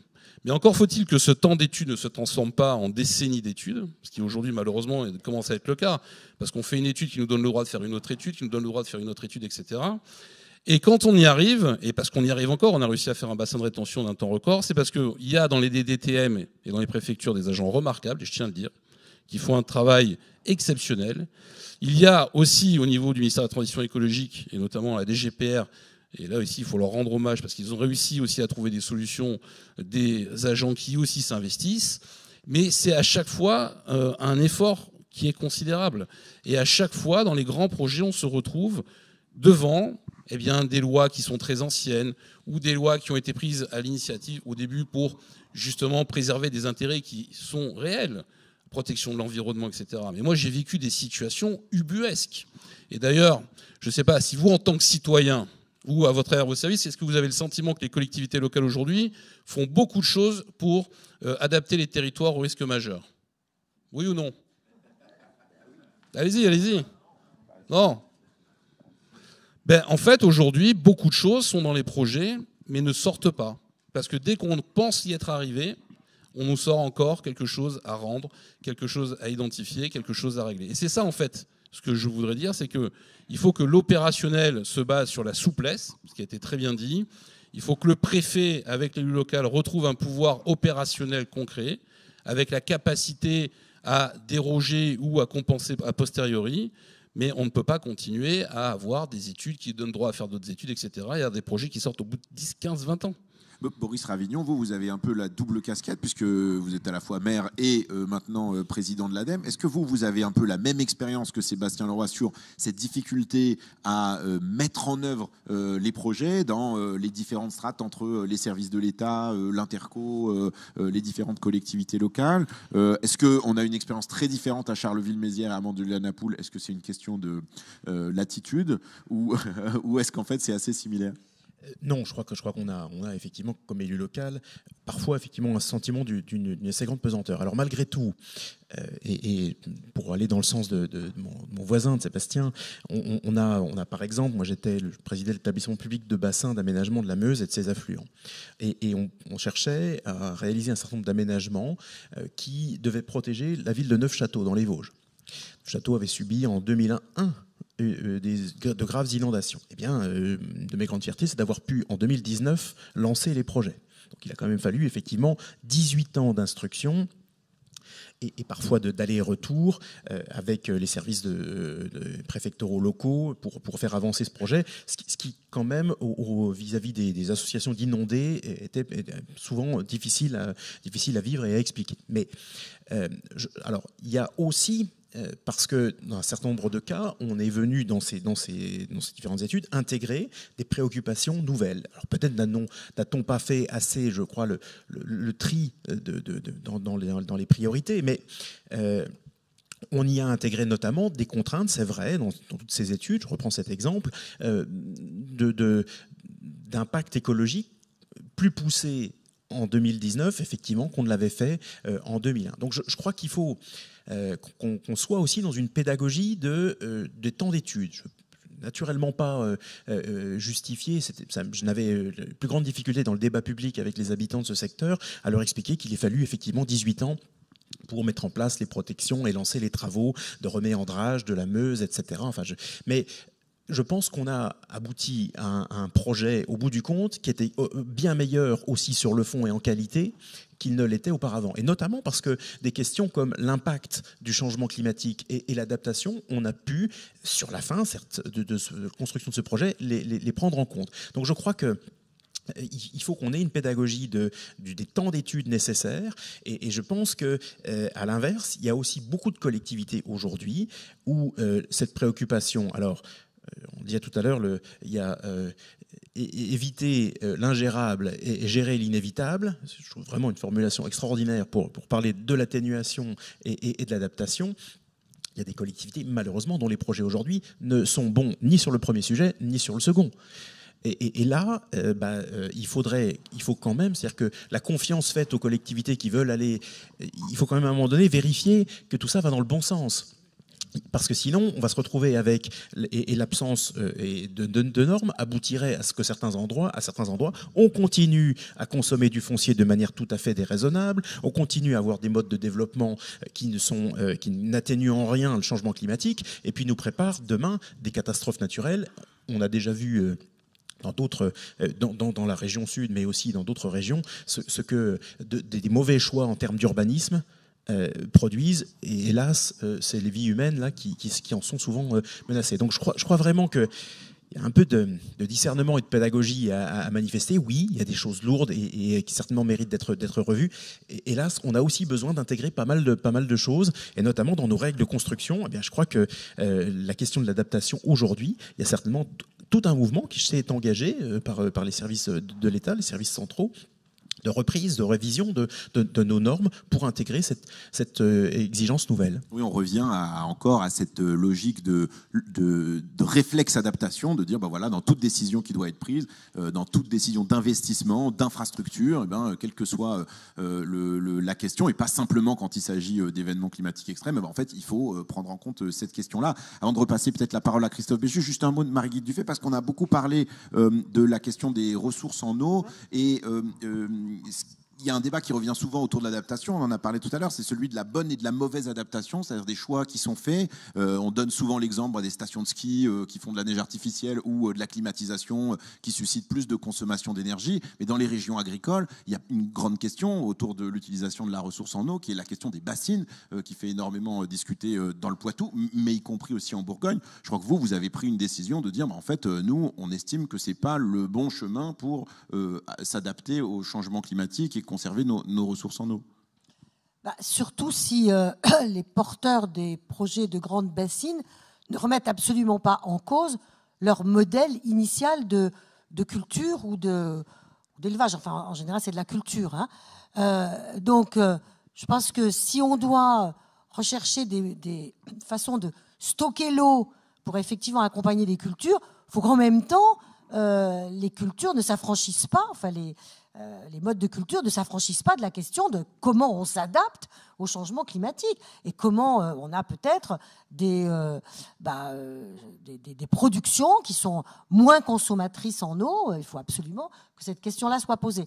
Donc nous, dans notre région, effectivement, nous, nous, avons éliminé cette question, sauf pour deux projets qui sont en Côte d'Or et qui sont liés à du maraîchage à du maraîchage euh, lui-même euh, devant alimenter euh, les lycées, les, enfin les, cantines des lycées et des collèges. C'est vraiment tout un modèle de, circuit court et pour lesquels, effectivement, il y a une question d'alimentation en eau. Donc on a deux projets pour lesquels on a d'ailleurs travaillé avec l'Europe parce qu'il y a des fonds européens qui sont en cause et on s'est on a pris des précautions pour que ces projets-là euh, ne soient, acceptés au, niveau européen, mais c'est vraiment à condition qu'il y, ait une réflexion de la part des porteurs de projets euh, sur euh, leur, adaptation eux-mêmes à leur mode de culture. Parce que les grandes bassines qui captent l'eau, laquelle est évaporée, et l'eau qui ne va pas aller alimenter les nappes souterraines, enfin bon, je veux dire, aujourd'hui, ça paraît complètement, complètement dément. Donc pour nous, c'est euh, vraiment le, principe même, c'est d'abord de qu'est-ce qu'on change, quelle rupture ou quelles évolutions euh, on, met en œuvre pour effectivement être moins lié la, aux besoins en eau et à la consommation en eau. C'est cette question-là qui, pour moi, doit être prégnante. Ronan Dantec, ça revient à ce que vous disiez un peu tout à l'heure sur la question de on y est presque, c'est-à-dire oui, de plus en plus de gens prennent en compte euh, ces questions-là, mais on a l'impression que les marches de l'escalier qui sont devant nous sont peut-être les plus difficiles. Peut-être, peut-être pas. Euh, parce que euh, on, peut avoir sur l'adaptation un débat, j'en fais beaucoup bien sûr, puis j'ai mis des, pièces dans la machine avec le, rapport qu'on avait fait avec notre collègue Jean Yvreau pour dire on n'y est pas du tout. Donc on peut juste se lamenter. Je pense qu'à partir de là, on risque en fait de, de nourrir aussi l'inaction quand je dis qu'on y est presque, c'est que je pense que les, cadres de la relation entre l'État et les collectivités, puisqu'on est tous d'accord ici que sans les collectivités, on n'y arrivera pas, ont été globalement écrits, mais qu'il manque le flux financier. Et Christophe va se dire, euh, il allait en arriver là, c'est-à-dire euh, il faut qu'on sorte, euh, et ça va tout à fait dans le sens des conclusions euh, d'I4C sur la question de l'ingénierie territoriale absolument centrale sur cette question. Il faut qu'on sorte d'une logique financière où l'État est plutôt dans l'incitation sur des projets, plus ou moins exemplaires, mais à un moment, comme il a besoin de projets, il finit par financer ce qu'on lui présente. Euh, à une, si, si, encore, hein, sur les 2 milliards, on fera le point de ce qui va sortir. Euh, mais rentrer dans une logique avec à peu près les mêmes niveaux de financement, qui est une logique de dotation. C'est pas du tout pareil dotation et contractualisation.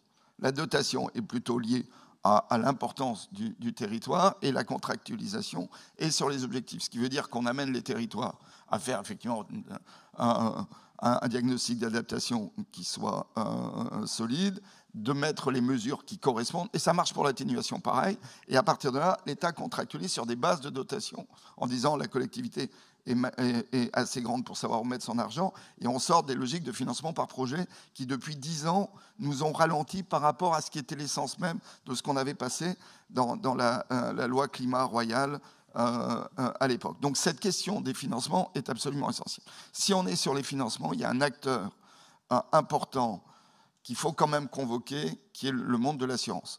Dans le dernier avis de la, commission spécialisée, donc euh, que je préside, qui sera soumis au CNTE, on est obligé quand même, nous, de prendre acte que par rapport au PNAC 2, ce qu'on attendait quand même sur le, champ de la finance et de l'assurance n'est pas là. Je ne parle pas mon nom propre, c'est ce qu'on a euh, écrit euh, et voté par consensus. Donc là, il faut quand même que les assureurs nous disent un peu plus précisément, et pour les avoir auditionnés au moment du, rapport sénatorial avec Jean-Yves Roux, c'est quoi leur vision? C'est-à-dire, un assureur, il a un peu besoin de catastrophe. Hein.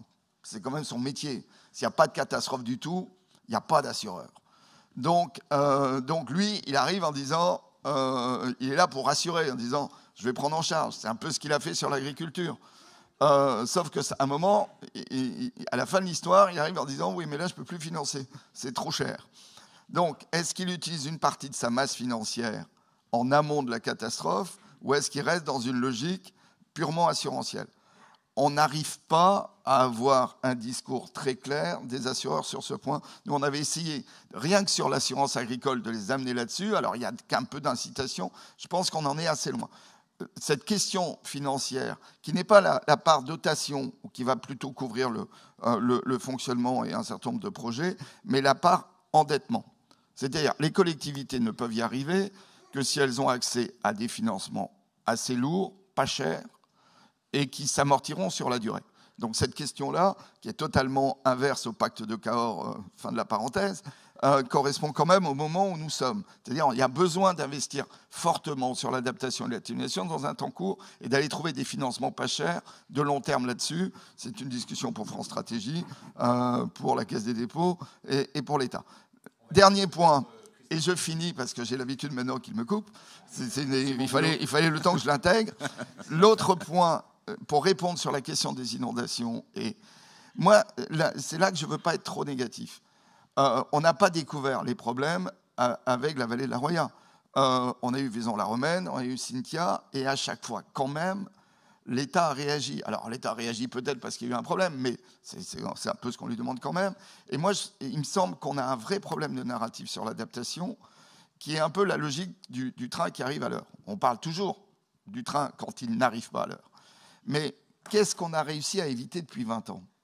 Je pense qu'on n'a pas d'évaluation de ce qu'on a quand même décidé depuis 20 ans suite à un certain nombre d'autres catastrophes. On a quand même des PPRI, on a des plans d'inondation ils ont certainement marché. Ils ont certainement marché. Sauf qu'on n'a on a aucun narratif et aucune évaluation de tout ce qui a fait et qui a marché. C'est pour ça que je. Et or, je pense que pour que l'action publique se développe, pour qu'on mobilise, on ne peut pas être que dans un discours négatif, il faut aussi montrer ce qui a été efficace. Et ça, ce point-là, en termes de narratif, moi le premier, j'ai plein de journalistes qui m'appellent en disant on veut, je veux, dans l'heure, la commune qui est la vitrine qui va nourrir mon papier. Dites-moi quelle est la commune. Et là, j'ai de vraies difficultés parce que cette évaluation-là de ce qui a été fait avec un impact déjà significatif, euh, on ne l'a pas. Et ça, c'est important, ne serait-ce que pour pouvoir répondre aux journalistes. Merci de vouloir nous répondre. Euh, Christophe Béchu, il y a différents points qui ont été évoqués. Peut-être, euh, vous, vous avez aussi historiquement plusieurs casquettes. Vous êtes non seulement ministre de la Transition, mais en plus de la cohésion des territoires, et en plus, vous avez été élu local pendant très longtemps. Euh, donc là-dessus, comment vous, vous voyez la répartition des rôles entre les, différentes strates? Et puis peut-être sur la question de la bonne et de la mauvaise adaptation, comment on fait en sorte que euh, les investissements qu'on fait, bah, c'est des investissements qui aillent dans la bonne direction et pas qui nous amènent euh, euh, vers des investissements qu'il faudra refaire ou recommencer plus tard. Tout ça est très frustrant parce que on finit par simplifier sur des sujets qui sont hyper importants. J'aurais aimé m'attarder sur la norme. J'aurais aimé, y compris, euh, discuter sur les retenues, sur le modèle agricole et sur le fait qu'à un moment, il faut aussi qu'on prenne en compte ce qui se passe si on produit moins ici et si on l'importe d'ailleurs, parce qu'on finit par avoir. Bref, tout est dans tout, et y compris sur la question des saupoudrages. Euh, et, là où il faut de la nuance, c'est que si seulement il y avait une réponse simple à apporter, de, de la même manière que bah l'action publique, ça nécessite parfois de la nuance. Alors, c'est pas télévisuel, c'est mieux d'acheter de la purée dans un musée, c'est mieux d'aller expliquer qu'on est dans de l'inaction climatique, c'est mieux. Mais, mais la vérité, c'est qu'y compris sur un sujet comme la norme, il y a des endroits dans lesquels il faut changer la norme compte tenu du contexte. C'est vrai pour les eaux usées, mais on ne peut pas expliquer que la loi SRU, qui date d'il y a 20 ans, elle vient se percuter avec Lausanne, alors qu'on sait qu'il y a des communes dans lesquelles il n'y a pas assez de logements sociaux, non pas à cause du réchauffement climatique, mais à cause de décisions qui ont parfois été prises pour d'autres considérations que des considérations climatiques. Donc on ne peut pas non plus tout mettre dans tout avec des échelles de temps qui ne sont pas les bonnes. Et ce n'est pas spécifiquement par rapport à cette commune. C'est qu'ailleurs, on m'a expliqué que le zéro artificialisation net allait poser euh, une difficulté sur le fait de réindustrialiser le pays. Super. Ce que j'observe, c'est qu'en 50 ans, ce n'est pas parce qu'on a doublé la population de ce pays c'est pas parce qu'on a accueilli des usines. Au contraire, on a construit partout, on s'est étalé de manière dingue, on a euh, pris l'habitude d'aller mettre des jardins autour des maisons. Et maintenant, euh, une partie de cela vient expliquer qu'il faudrait être vertueux et que s'ils veulent artificialiser, c'est pour pouvoir accueillir des habitants. Et j'ai des gens qui perdent de la population depuis 20 ans qui m'expliquent qu'il faut à tout prix qu'ils aient plus de terrain euh, à construire dans les années qui viennent. Donc on a des marges. De la même manière, je suis désolé, mais on ne peut pas à la fois expliquer qu'il faut de la souplesse et qu'il y a de la limite au saupoudrage. 2023, c'est juste la première année, c'est la première année, c'est la première année où il y a un fonds d'adaptation au changement climatique doté de 2 milliards d'euros. Pardonnez-moi, je, veux bien qu'on m'explique que c'est pas assez, qu'il faut faire plus. Il y a un an, à la même époque, c'était zéro. On passe de zéro à 2 milliards. OK, I4C dit qu'il faut 2,3 milliards d'euros répartis en 18 cibles. Le rapport date de juin, on a gagné l'arbitrage en juillet, j'ai dit que c'était pour l'année 2023, et tout l'enjeu, la visio avec les préfets de région, je laisse cet après-midi à 14h45, monsieur le sénateur Dantec, pour justement fixer les règles et regarder comment, comment on avance. Ce que je veux dire, c'est qu'on passe de 0 à 2 milliards, tout n'est pas parfait, ce qui m'importe, c'est la trajectoire, et on va financer effectivement plein de choses. Pour éviter les appels à projets on confie au préfet, donc on me dit, bah oui, mais ça donne trop de souplesse. Mais ça nous permet d'aller financer de la déminéralisation de cours d'école, de la plantation d'arbres, du changement euh, d'ampoules thermiques, euh, de la trame noire, de la trame verte, de la biodive. Et le bilan qu'on fera de ça, il sera précisément en ayant dit aux élus locaux, on vous fait confiance. Parce que le sujet que vous avez à tel endroit, le degré de maturité qui fait que vous allez pouvoir faire dans le semestre et pas lancer le plan de ce qui se passera dans 5 ou dans 10 ans, ça suppose que les crédits soient immédiatement disponibles dès lors qu'ils s'inscrivent dans une perspective d'adaptation aux d'atténuation. Ensuite, à un moment, on ne peut pas expliquer qu'on est face à, au défi du siècle, à quelque chose qui est majeur et uniquement réfléchir en plus. Il faut aussi qu'on réfléchisse en moins. Je m'explique. Moi, je ne peux pas avoir une réflexion dans ma casquette cohésion des territoires qui consiste à demander aux collectivités locales ce sur quoi on augmente les dotations, dans un contexte où, par définition, la sobriété, ça va aussi consister à faire moins dans un certain nombre de domaines. Et si, quand il y a une politique nouvelle, il faut créer une dotation nouvelle, mais qu'on ne remet pas en cause, par exemple, des dépenses brunes, qui, elles, se poursuivent parce qu'elles sont gagées par d'autres dotations ou parce qu'elles ne reposent sur aucune dotation, si ce qu'on enlève d'un côté, on le remet de l'autre, ça posera une difficulté. Donc, je vais vous dire, ce que j'attends de l'année, en vrai, c'est ce qui va se passer en juin. C'est le moment où nous aurons, avec toutes les strates de collectivités, la discussion sur les nomenclatures de budget vert pour les collectivités locales. Parce que c'est ça qui me permettra ensuite de faire arriver les tuyaux du CRTE en face des tuyaux du financement, de verdir la DETR, la DECIL, de faire en sorte qu'on ait des catégories de dépenses qui soient à mettre en face. Il faut aller plus loin parce que j'ai un problème d'urgence. Et cette urgence, elle ne va pas avec les règles budgétaires. Donc il faut à la fois qu'on s'affranchisse de ce cadre. C'est ce que nous faisons dans le cadre de ce qui a été voté à l'unanimité à l'Assemblée. Il n'y a pas eu beaucoup de textes de votés à l'unanimité à l'Assemblée la semaine dernière, euh, jeudi de la semaine dernière, et qui permet le tiers financement pour les collectivités locales. En clair, vous n'avancez pas d'argent pour la rénovation, faites les travaux, vous les confiez à un tiers qui peut être public, qui peut être votre SPL ou votre SEM, et elle se remboursera sur la durée de la vie. Il y a un autre dispositif qui est en place depuis six mois, dont personne n'a encore fait la publicité, qui concerne ma prime rénov, et qui est la possibilité, c'est pareil, que les travaux soient remboursés au moment du décès de la personne, avec un dispositif de viager pour que des gens qui n'auraient pas les moyens puissent lancer les travaux. On a peut-être des problèmes de seuil, ça s'appelle euh, le prêt avance remboursable. Ça suppose de passer chez le notaire, on est au tout début du processus, mais là encore, c'est tout à coup une logique qui consiste à casser le thermomètre pour appliquer les choses de manière différente. C'est tous ces leviers-là sur lesquels il faut qu'on soit capable d'avancer en même temps des financements innovants, des crédits nouveaux qui vont supposer aussi de faire évoluer nos dépenses, mais dans les deux sens. L'évolution globale de la partie financement, elle passera par des crédits en plus dans certains domaines et par des crédits en moins dans certains domaines. Et ensuite, il faut qu'on ajuste notre fiscalité. Je reviens aux ânes.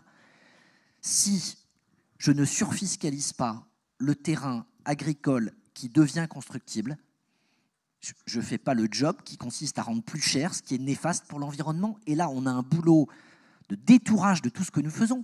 Il faut aller vers une TVA plus basse pour les produits de deuxième main et vers des systèmes de fiscalité qui fait que quand on est sur de la fast fashion avec un truc qui finit par se retrouver sur des plages du Bangladesh un mois et demi après avoir été acheté parce qu'on l'a porté trois fois, on ait une participation plus élevée en termes de financement pour rendre le truc vertueux. Il y a, il y a la totalité du chantier du financement qui est à conduire en parallèle de celui des actions, parce que le signal prix, il participe à l'évolution et au changement.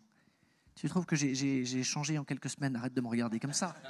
Oui, c'est vrai qu'on voit Ronan Dantec regarder Christophe Béchu comme un, un, écologiste radical. C'est une interaction intéressante. Peut-être qu'on peut laisser la parole à la salle, prendre une première série de questions pour euh, les participantes et participants du colloque. Je sais, il y a un micro qui doit circuler. Voilà le micro qui arrive. Bonjour. Ça marche ah, Pardon. Oui, vous m'entendez? Euh, bonjour, Alexandra Vatier, cabinet BE L'Évolution. Euh, j'avais une question face aux besoins euh, de l'ingénierie que vous avez cités tous autant que vous êtes. comment, du coup, dans les régions, vous, arrivez concrètement à organiser ça quand on voit que I4CE propose une organisation à 7 équivalents temps plein par région? Donc, est-ce que concrètement, Madame au niveau de la région Bourgogne-Franche-Comté, c'est quelque chose qui est mis en place. Et euh, par ailleurs, peut-être plutôt au niveau national, comment du coup on développe l'ingénierie alors que euh, dans les six dernières années euh, a été mis en avant une baisse de 10 à 25% des effectifs dans des organisations comme l'Agence de l'eau, l'ADEME, le CEREMA, l'ONF, etc. Merci. Alors peut-être comme on a le PDG de l'ADEME, peut-être. Oui, parce qu'effectivement, euh, il y a eu une réduction dans certaines premières phases des effectifs de l'ADEME, et puis Là, on a vu euh, sur la dernière période euh, une réhausse assez significative de, près de 90 emplois, sur la dernière année, du, plafond d'emploi de l'ADEME. Mais je, crois surtout que l'ingénierie, elle passe par les effectifs qui se trouvent en province. Et et là, je pense que l'agence qui est l'ADEME a une partie des solutions. On a des directions régionales dans les 17 euh, régions euh, de France métropolitaine et, d'outre-mer. Et, euh, eh bien, aujourd'hui, l'ADEME, elle contractualise avec principalement des intercommunalités parce que on, on, a beaucoup été sur l'économie circulaire, les mobilités durables. Donc c'était l'échelon pertinent avec lequel travailler. Et Aujourd'hui, l'ADEME, dans les contrats qu'elle entretient avec ses collectivités, elle finance, tenez-vous bien, de l'ordre de 600 équivalents temps plein en ingénierie.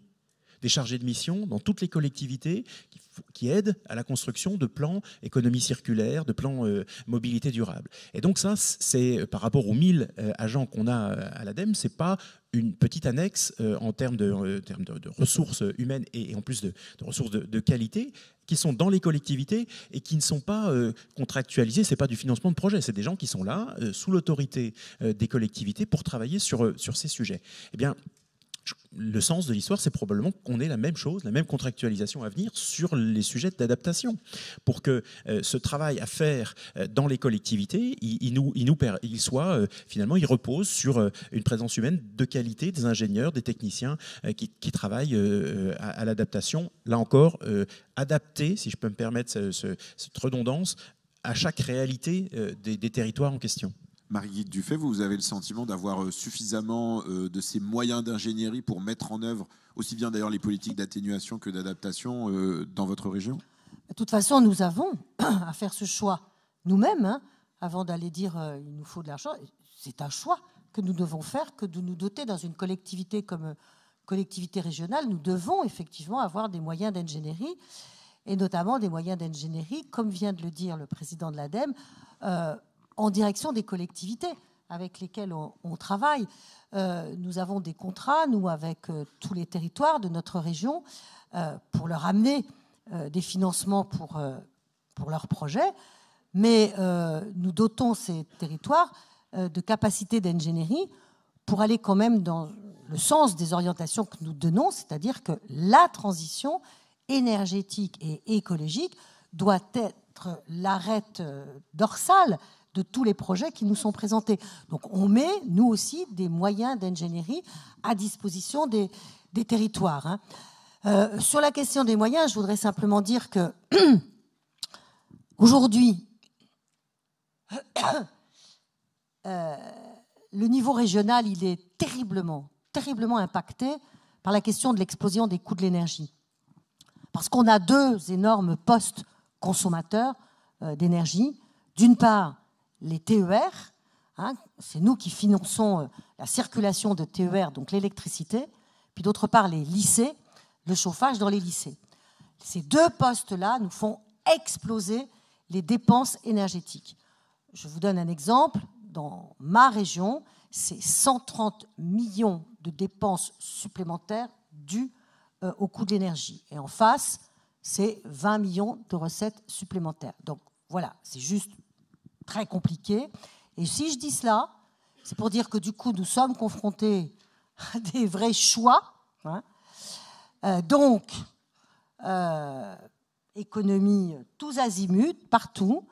Mais effectivement, la direction que j'ai donnée dans ma collectivité, tant que je n'y vois pas plus clair, parce qu'en même temps, j'essaye de faire baisser toutes ces charges-là, il y a des négociations qui sont engagées, notamment avec la SNCF, tant que je n'y vois pas plus clair, j'arrête un certain nombre de, dépenses. Je viens de faire voter un, budget très en baisse en attendant un budget supplémentaire que j'espère pouvoir faire voter au mois de juin prochain, mais je veux dire que toutes les questions de transition euh, énergétique, écologique, elles, sont le plus neutralisées possible. C'est-à-dire, on touche le moins possible dans toutes les contractions budgétaires que nous faisons et quand nous allons reprendre un cours plus normal, je l'espère, quand on aura euh, quand même un peu fait face à nos dépenses énergétiques, c'est par le prisme d'un budget vert qu'effectivement nous ferons les choix de priorisation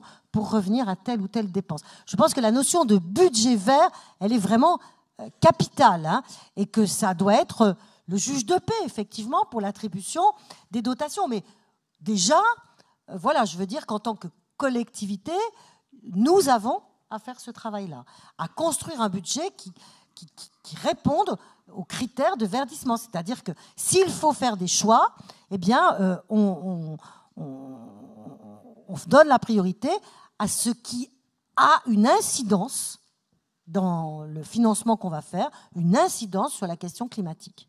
Christophe Béchu, sur la question de l'ingénierie, est-ce que justement, ce n'est pas qu'une question de moyens, c'est aussi la France est historiquement un pays d'ingénieurs. On voit beaucoup de jeunes ingénieurs qui euh, n'ont pas forcément envie d'aller travailler dans un certain nombre de secteurs liés aux énergies fossiles. Est-ce que c'est pas le rôle de la puissance publique de lancer un grand appel à, cette jeunesse euh, diplômée en leur disant bah, venez euh, travailler dans les collectivités locales pour l'ADEME, pour le ministère de la Transition On recrute pour l'adaptation et pour la, la transition? Bon, d'abord derrière la la question de, la jeune femme, il y a une réalité. Le ministère de l'écologie, de l'environnement, du développement durable, en 20 ans, c'est celui qui a perdu le plus d'emplois en pourcentage. Chercher l'erreur, y compris par rapport au discours. Quand je dis le ministère, je veux dire le ministère et son périmètre, c'est-à-dire y compris ses opérateurs, et en incluant l'ENF dans le parcours, même si à l'heure actuelle, c'est un raccrochement euh, En moyenne, 1000 postes par an le combat que j'ai mené et que je suis heureux d'avoir gagné, absolument pas pour des raisons personnelles, mais pour la cohérence de ce que je dis et de ce que je fais, c'est la stabilité sur les cinq ans des effectifs. Et comme dans les cinq ans, il y a la Société du Grand Paris qui va rendre des centaines de postes, ce sera en fait de la recréation, ce qui nous permet dès cette année de recréer des postes à l'ADM, à Météo France, à l'ONF, bref. Donc là-dessus, c'est pas du tout un sujet tabou, au contraire, et c'est bien ce qu'on a enclenché. Ensuite, pour vous répondre, en fait, c'est la question du sens. Euh, et, globalement, à partir du moment, on, on a aujourd'hui des générations qui ont besoin de savoir pourquoi elles se lèvent le matin et, de se questionner sur le sens. Et l'avantage de ces sujets, c'est que c'est l'occasion de se sentir doublement utile. Mais il faut là aussi qu'on passe de la préconisation théorique d'I4C à la réalité de l'intégration dans nos équipes. Je donne juste cet exemple. Ce n'est pas forcément en ETP qu'on calcule c'est en réflexe dans toutes les directions. Et là, je prends 15 secondes ma casquette. J'ai pas créé comme maire d'Angers une cellule de l'adaptation. En revanche, il y a une personne à temps plein à la direction des écoles, uniquement sur la déminéralisation des cours d'école, qui explique qu'on est aujourd'hui le calendrier, que tous les parents d'élèves puissent savoir quelle année, dans le mandat, on aura déminéralisé, on aura fait en sorte d'accroître l'ombre, etc. Idem sur euh, les espaces verts, euh, une personne à temps plein, mais peu à peu, l'enjeu c'est qu'il en forme d'autres, euh, et donc il n'est pas identifié comme le référent adaptation. C'est qu'on a une diffusion de la bonne pratique qui se passe à partir de gens qui ensuite ont ces réflexes, et à la limite qu'on appelle même pas ça adaptation, mais juste amélioration du service public, parce que c'est aussi une manière de le faire vivre au quotidien. Peut-être on peut prendre une série de, questions, deux, trois questions d'affilée, comme ça on, essaie de faire circuler la, parole. Merci. Bonjour, euh, Laurence Roux, Banque des Territoires, Groupe Caisse des Dépôts.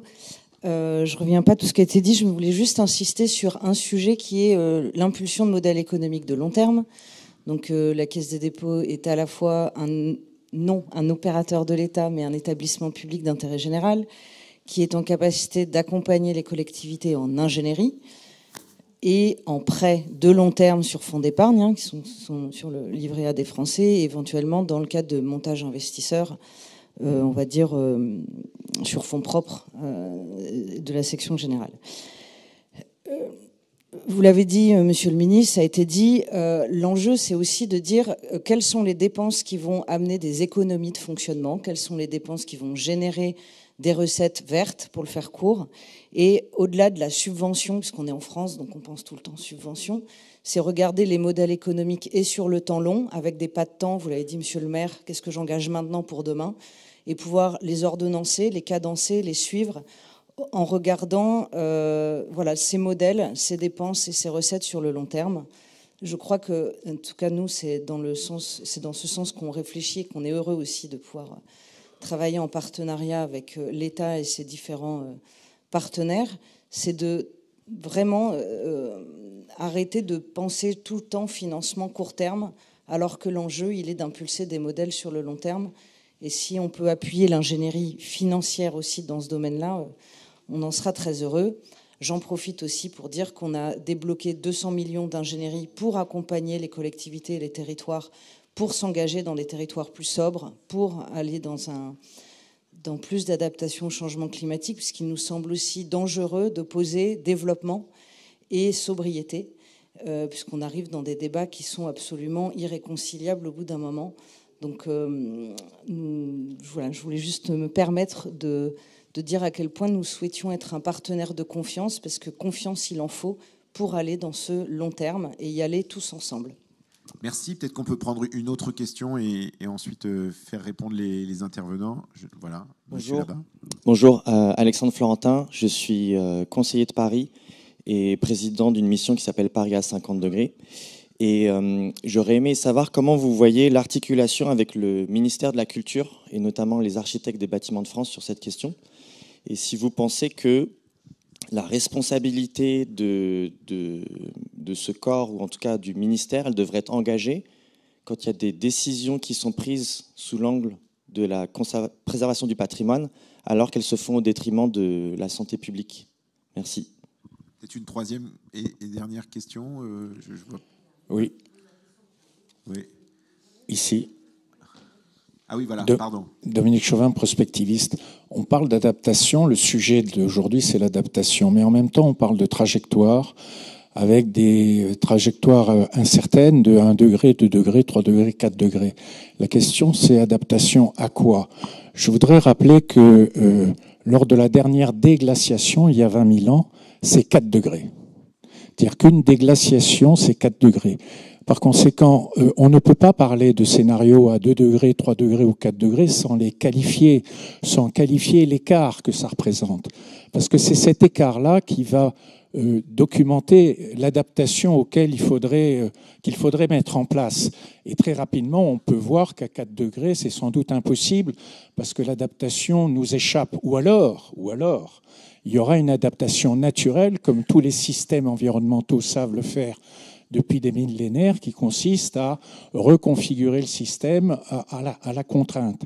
Par conséquent, ma question, quand on dit on manque de stratégie, est-ce que vous ne pensez pas que d'abord on manque d'une vision collective, d'une compréhension collective qui puisse être, euh, je dirais, partagée par l'ensemble des acteurs afin qu'il y ait un alignement global cette fois-ci et que l'adaptation devienne un sujet qui est compris en articulation avec l'atténuation pour qu'on adapte non pas les infrastructures ou, les, mais qu'on adapte le système énergétique, le système économique à accueillir plus favorablement toutes les grandes transformations qu'a évoqué M. Cédric Odenis, qui sont vraiment les enjeux euh, qu'il va falloir accueillir, y compris dans les territoires, pour permettre la synergie entre ces deux notions, atténuation et adaptation. Peut-être Ronan Dantec sur ce point-là, euh, sur la question de la trajectoire et de ce que ça veut dire une trajectoire dans laquelle euh, on est à plus 4 degrés. Effectivement, plus 4 degrés, c'est assez trompeur parce qu'en fait, à plus 4, plus 5 degrés, on n'est plus dans l'ère glaciaire, on est plutôt dans l'ère fournaise. Euh, et donc, ça, qu'est-ce que, qu'est-ce que ça veut dire quand vous dites il faut un seul scénario dans lequel on se projette? C'est, une question intéressante. Plus 4 degrés en France, c'est donc ce que je disais, plus 2,5, 6 au niveau mondial. C'est un peu au-delà, effectivement, des 2 degrés du GIEC qui disent après on rentre dans un monde de plus en plus compliqué. En fait, quand on dit plus 4 degrés en France, alors notre avis dit plus 3 au niveau mondial, donc un peu plus euh, euh, encore, mais j'aurais peut-être dû commencer par là. Merci pour la question. Nous parlons d'un monde qui survit. Nous parlons de sociétés qui s'adaptent. Nous ne parlons pas d'un monde qui s'écroule. C'est très important. C'est peut-être ce qui manquait en fait en, euh, introduction. Euh, si on est à plus 4, plus 5 degrés au niveau mondial, on est dans un monde qui s'écroule. Dans les deux, on est dans un monde qui s'adapte. De plus en plus difficilement, plus ça monte, mais on n'est pas dans le chaos. Ce dont on parle, même on devient un peu barbant, et c'est bon signe, puisqu'on parle euh, des CIL, des ETR. Euh, non, moi je veux plutôt une dotation. le journaliste se dit on va perdre la salle. Non, pas du tout. Ça veut dire qu'on est rentré dans le sujet. Euh, alors évidemment, pour les poètes comme Charles Villemézières, c'est plus compliqué, mais, mais quand on est avec I4C, France Stratégie, on ne s'attend pas quand même à, faire dans l'Alexandra. et c'est heureux, et c'est important qu'on en soit à ce moment-là de l'histoire. donc, je crois que ce qu'on est en train de dire, c'est qu'on est en train d'adapter la France sur la fourchette haute d'un monde qui ne s'écroule pas. Peut-être que ça manque dans, le, narratif, euh, parce qu'effectivement, euh, euh, on n'a pas parlé de migration, on n'a pas parlé... On a, en fait, on, on, ne vous a pas terrorisé, on ne vous a pas tétanisé en disant tout s'écroule. On vous a dit c'est très grave, mais on peut y arriver. Et à partir de là, on a des débats techniques, et sans reprendre tout le débat, parce que évidemment, je vais être coupé avant, euh, c'est quand même de dire il y a une petite difficulté. J'ai bien entendu ce que disait Christophe Bichus, c'était très intéressant sur, euh, sur les budgets verts euh, aussi. pour les régions, malgré tout, mon sentiment, le, sénateur, il est quand même sur les territoires en permanence, Christophe l'a été aussi. on a quand même demandé aux communes et aux intercos une nouvelle compétence. C'est une nouvelle compétence. Et une nouvelle compétence dans un temps court. Si euh, on leur demande de trouver de l'argent ailleurs, mais où euh, On ne va pas régler la police municipale, il y a des demandes de plus en plus fortes, on ne va pas réduire l'action sociale. On risque quand même d'avoir un goulot d'étranglement sur l'ingénierie. Et que je pense qu'en termes politiques, il faut quand même partir sur l'idée que c'est une nouvelle compétence non financée, dont on a un besoin urgent, et que donc il faut quand même réfléchir sur un coup de pouce sur l'ingénierie et donc sur le fonctionnement. Je ne reprends pas tout le débat, mais c'est heureux qu'on rentre dans ce niveau technique de débat et qu'on sorte des grandes tirades sur l'adaptation, le monde qui va pas bien. Après, sur l'atténuation et l'adaptation, ça va évidemment ensemble. Euh, et ça, je réponds, et je finis, promis, euh, par rapport à la question, euh, enfin, l'intervention de la Caisse des dépôts. évidemment, si on, on réhabilite aujourd'hui le parc public et le Monde a fait un grand papier là-dessus pour dire que ça coûtait quand même extrêmement cher. Euh, on va faire adaptation et atténuation en même temps. Et à partir de là, on a besoin que la Caisse des dépôts nous propose de l'argent à 50 ans à un taux proche de zéro, ce qui n'est pas encore le cas. Ce qui n'est pas encore le cas. Parce qu'à 13 ans, ça ne marche pas. Euh, donc, euh, on a toutes ces questions euh, derrière. Le tiers financement est certainement, ça c'est un point d'accord ancien avec Christophe, c'est une des réponses qui est devant nous. Mais on a cette masse financière à mobiliser. Mais si on n'a pas l'ingénierie en urgence et on ne peut pas demander aux petites intercos d'inventer une ingénierie en déshabillant le reste, parce qu'elles sont déjà au taquet sur le reste, on risque de là d'avoir un goulot d'étranglement qui fait que tout ce qu'on se dit ne se fera pas à cause de ce goulot d'étranglement-là. Et je ne leur dis pas plus. Avant de laisser euh, la parole à Christophe Béchu, peut-être un mot de Boris Ravignon sur ces questions aussi de financement Oui, tout à fait. Et puis, pour, répondre aussi, euh, monsieur le sénateur, euh, Rimbaud nous disait depuis Charleville, soyons absolument modernes. Je crois qu'être absolument moderne aujourd'hui, c'est assurément s'adapter et, et, travailler justement à ce que cette adaptation et que notre transition écologique à laquelle on travaille tous, qui comprend effectivement de nombreux dispositifs d'atténuation, eh bien, elle soit elle-même adapté, c'est-à-dire qu'on inclut vraiment dans chacune des actions de transition cette préoccupation euh, de l'adaptation et d'une adaptation justement évolutive à des impacts qui vont avoir tendance, qui peuvent avoir tendance à être euh, effectivement euh, plus graves et, plus lourds. Moi, je voulais simplement souligner qu'il y avait, je crois aussi, alors, sur le sujet de l'adaptation, c'est plus difficile que sur le sujet de l'atténuation, mais une part de financement privé non, négligeable, ou en tout cas d'initiative privée, euh, qui peut se, manifester. On soutient, nous, euh, à l'ADEME, euh, des initiatives comme celle, par exemple, des vignerons du Buzet, donc, qui, aujourd'hui, sur leur secteur, sont en train de réfléchir à, se dire c'est pas possible, avec l'augmentation faramineuse des températures que nous vivons, les cépages qu'on utilise, la façon dont on travaille, la façon dont on gère l'eau dans nos, dans, sur nos parcelles, tout ça va voler en éclats euh, dans les années qui viennent. Et ils sont donc d'eux-mêmes sont venus proposer euh, un, travail sur euh, l'adaptation. Alors au début, on est sur 1700 hectares, euh, mais, on va pouvoir, en travaillant, en expérimentant sur une petite partie, eh bien, préparer justement l'adaptation. Et donc il y, a, là, avec un petit peu d'argent public, parce qu'il y a effectivement de l'ingénierie, un soutien, mais un vrai investissement des coopératives et des coopérateurs locaux, des viticulteurs, du, du, Buzet. Et puis il y a des projets effectivement dans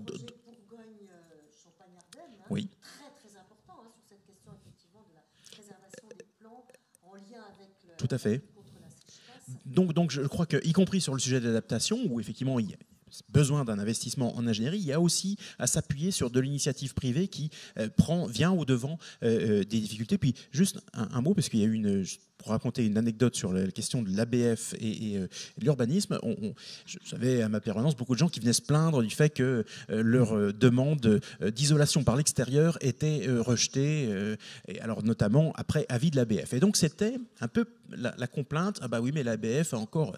Bon, après examen, on s'est aperçu que en fait c'était notre PLU qui euh, interdisait cette modalité d'isolation, euh, à la limite de bonnes raisons au départ. On avait voulu protéger les gens contre euh, des, isolations qui se faisaient par intérieur, qui donc réduisaient l'espace vital, etc. Sauf que, et puis qu'à l'extérieur, on empiétait sur le domaine public. Et donc, euh, ça, c'est, on est en train de réviser notre PLU pour permettre qu'on prenne un petit déport de 10 cm sur, le, sur l'espace public, et, ce qui va permettre de faire beaucoup d'isolation par l'extérieur et donc d'améliorer les choses. Et, et donc, les ABF, dans cette affaire, je le dis juste, comme élu local, ça m'est arrivé effectivement de trouver qu'ils poussaient un peu le bouchon, mais euh, je, pense que là, ils étaient euh, bouc émissaires d'une situation dont ils n'étaient pas directement responsables. Et il doit y avoir un certain nombre de cas dans lesquels ce, soit aussi la situation. Christophe Béchu, sur ces, deux euh, questions, notamment donc celle du, financement, comment on s'assure que ces financements, ce soient des financements qui, sur le long terme, d'abord sont essentiels, mais aussi, entre guillemets, comme vous le disiez, nous fassent gagner de l'argent, c'est-à-dire que ce soient des financements qui soient efficaces sur le long terme, qui nous évitent des coûts. Euh, et puis euh, aussi, j'aimerais vous entendre, euh, vous aussi, sur cette question des bâtiments de France, parce que c'est vrai que c'est un sujet qui revient souvent sur la question de l'isolation, sur la question des, panneaux solaires, donc quand on parle des, sujets d'atténuation également. En fait, c'est une question qui, au-delà de l'objet qu'elle pose, montre bien tous les angles morts avec lesquels on peut se retrouver et la complexité du débat. Il y a un mot qu'on n'a pas évoqué ce matin. C'est le mot biodiversité, par exemple on s'est concentré sur une politique qui se préoccupe de l'élévation de la température. On sait que ça impacte la biodiversité, que la biodiversité, les ressources, les systèmes nous aident aussi à nous préserver contre ça. Et là, on a parfois des injonctions contradictoires. Je vous renvoie à la première version du débat sur l'accélération sur les énergies renouvelables, avec le fait de savoir si du coup on pouvait s'asseoir sur certaines procédures pour aller plus vite dans ce qui nous permettait de nous adapter ou de tenir compte de ces différents sujets. Dans un autre contexte, la question que posent les ABF, c'est est-ce qu'il faut subordonner toutes les politiques que nous conduisons, que nous connaissons, à l'impératif climatique, ou est-ce qu'il faut qu'on conserve dans un certain nombre de domaines euh, une capacité à avoir autre chose que les enjeux climatiques? Il faut évidemment qu'on regarde le climat avec beaucoup d'urgence, mais pas avec cécité sur les autres enjeux. D'abord parce que dans toutes les discussions qu'on a eues, je pense qu'il n'y a pas ici une personne qui imagine qu'une transition efficace, c'est une transition qui ne prend pas en compte les personnes les plus fragiles. Et donc ça suppose déjà, dans un certain nombre de cas, d'avoir une approche qui est nuancée. Et ensuite, parce que pour embarquer tout le monde, quand vous faites des bougées législatifs ou quand vous faites évoluer des priorités, il faut être capable de les expliquer. J'ai rencontré les ABF. évidemment. Et l'association autour d'un certain nombre de sujets.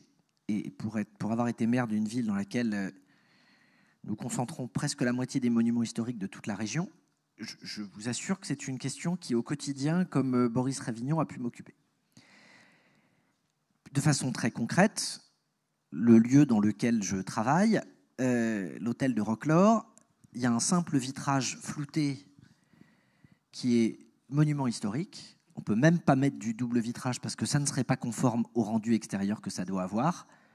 On s'apprête à lancer, là, dans les jours qui viennent, l'appel d'offres de géothermie qui va nous permettre d'atteindre un niveau de performance énergétique comparable à une isolation par l'extérieur, voire euh, supérieur, en détourant la difficulté ou le problème que nous avons.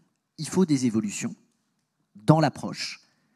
De la même, il faut évidemment que le patrimoine tienne compte de ce qui finirait de toute façon par l'abîmer si on ne fait rien. Donc il y, a un côté où l'inaction n'est pas une option, mais le fait tout à coup de dire on s'assoit sur tout ce qui existe et la priorité ça devient ça et on peint en blanc euh, un toit en ardoise qui est en co-visibilité de, euh, de la cathédrale, ça n'est pas non plus euh, une option qui est souhaitable dans ce qu'elle génère. Le groupe de travail des ABF qui est en train, à l'échelle de leur association nationale, de regarder comment édicter aussi des guides de bonne pratique. Il y en a déjà qui existent sur toute une partie des usages, sur les panneaux solaires. Et puis on a la chance d'avoir des évolutions technologiques qui répondent à une partie de tout ça. Personne ne peut rester inactif, mais il faut qu'on regarde ce qu'ont été les, les raisons d'agir de, de tel ou tel domaine. La question des financements, elle est directement liée. Si je me retrouve avec un coût de l'inaction, il est raisonnable de s'endetter et de revoir la question de la dette pour ces questions écologiques. Et si vous aviez été député, vous, vous m'auriez entendu le dire à la tribune de l'Assemblée il y a dix jours. Je souhaite, dans la continuité des budgets verts, et nous venons de lancer le travail, qu'on ait une réflexion sur la dette verte à l'échelle des collectivités, parce qu'on ne peut pas comparer celui qui fait une dépense pour aller créer euh, une salle de spectacle ou une piscine, et il faut continuer à s'amuser, à être heureux, mais ça génère des dépenses de fonctionnement à la fin. Et celui qui va faire un investissement pour aller changer son éclairage public, parce que quand vous passez au LED, c'est 68% en moyenne de baisse, et on n'a que 15% à la minute où nous parlons des 30 millions de lampadaires de ce pays qui sont équipés en LED. Bon, euh, et là, qu'on vienne pas m'expliquer qu'il euh, y a des biais, il y a des problèmes en termes de confort d'usage. Vous gagnez en confort d'usage, vous baissez les factures, c'est mieux pour le climat, c'est mieux pour la reproduction des chauves-souris et pour les trames noires. Vous pouvez prendre tous les, tous les exemples que vous voulez, c'est carton plein. Et ça fait gagner de l'argent. Donc là, investir tout de suite, ça a du sens. On présentera dans le cadre du plan eau, de manière très complète, aussi une bonification des aquaprès, je me tourne vers la caisse des dépôts, c'est-à-dire des dispositifs qui permettent de financer sur très longtemps. On a aujourd'hui des taux de fuite dans nos réseaux d'eau potable qui atteignent 70% dans certains endroits du territoire et on continue à avoir un discours ou des débats dans d'autres qui portent sur les usages alors qu'on potabilise de l'eau et qu'on la gaspille. On a aujourd'hui, enfin bref, je ne vais pas refaire les différents sujets, mais euh, on, est au cœur de tout ça. Et je termine par un mot. La particularité du débat qu'on a, c'est que celui-là, on peut l'avoir à l'échelle nationale. Ce qui n'est pas pareil pour l'atténuation.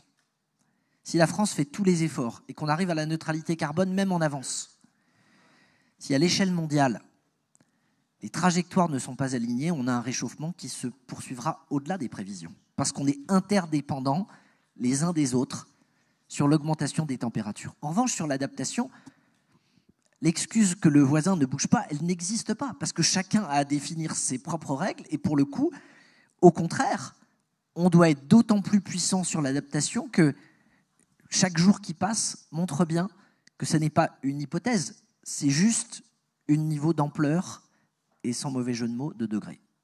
Ouais, c'est effectivement, quand on dit que chaque degré compte sur l'adaptation, on le voit de manière euh, très claire.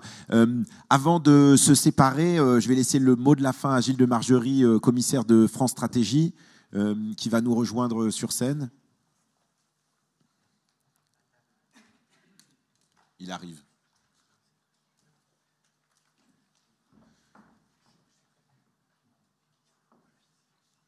Alors on peut dire au revoir à Christophe Béchu et le remercier de laisser sa place à Gilles de Margerie.